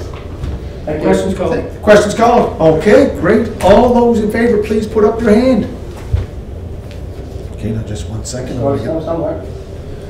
Uh, Just keep them up, please. Councilors Bernard, McCabe, Duffy, Ramsay, Doiron, Councilor Jankov, Rivard, Councilor MacLeod, Councilor Tweel, yea or nay? Yay? Yea. All those against? Deputy Mayor? Against. Okay. Anything else there, sir? Your worship, I do have one quick question. Sure. At For the chance- Public Works? Yeah, just at the chance being moved by council here, to keep the meeting going. Go ahead. Thank you, Councilor MacLeod, for your report. I was gonna ask this uh, earlier, but I didn't, uh, and I apologize. Um, Mailboxes, just quickly. I know all the rules around the mailboxes, or I think I do.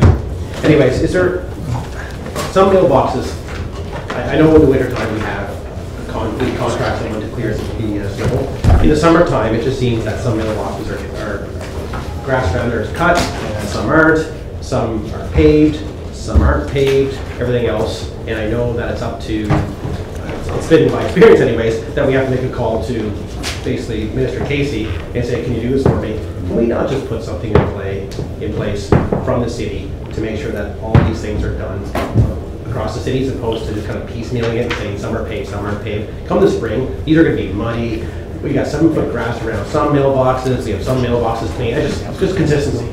Thank you very much. Uh, It is a good idea. Um, I know most of us have been frustrated with mailboxes, and it's not only the site in front of the mailbox, it's sometimes across the street too. That's affecting other people's properties. But, but I guess my only concern would be, and it's something uh, we could uh, bring back to the committee and look at, and that is, uh, you know, is there any legal uh, as to, once we pay, do we then become responsible? And so that'd be a question I think I'd like to have answered, but certainly we'll bring it up at the Public Works and there, yeah? Yeah, just to follow up, thank you, uh, Councilor MacLeod. Yeah, paved or or gravel, doesn't matter, we clean. it. Yeah. I'm just, I'm just saying for the, for, to keep it clean, Take just look at maintain, yeah. if we can work out something with the feds to say that, you know, we'll contract someone to maintain the grass around them, such as we contract Yeah.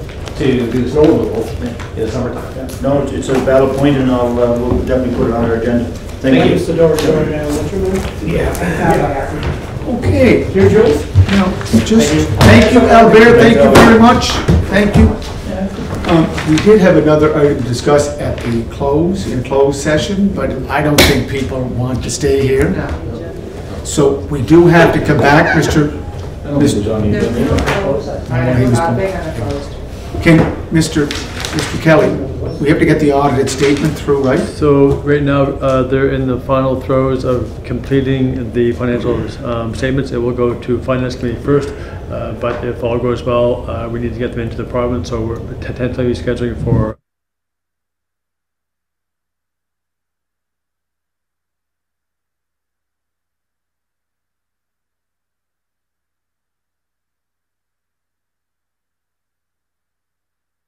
Leave it till Monday? Yep. Good? Five o'clock? Is that all right? Well, is it- is it just, that it, it, it- the object would be involved, is that why? Yes, that'll, that'll happen. Yeah. You you can't do it twelve? Uh, Depending on council's. uh, You wanna do it at 12? I can- Agenda, we can try to. Can twelve. Can can we, can we do a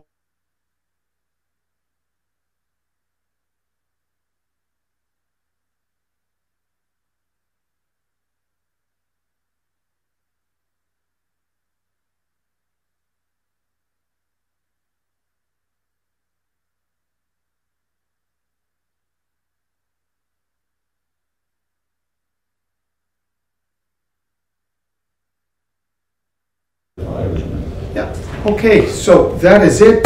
Uh, I need a motion to go to adjourn. Second, all those in favor? No? I'm sure you're gonna rush it.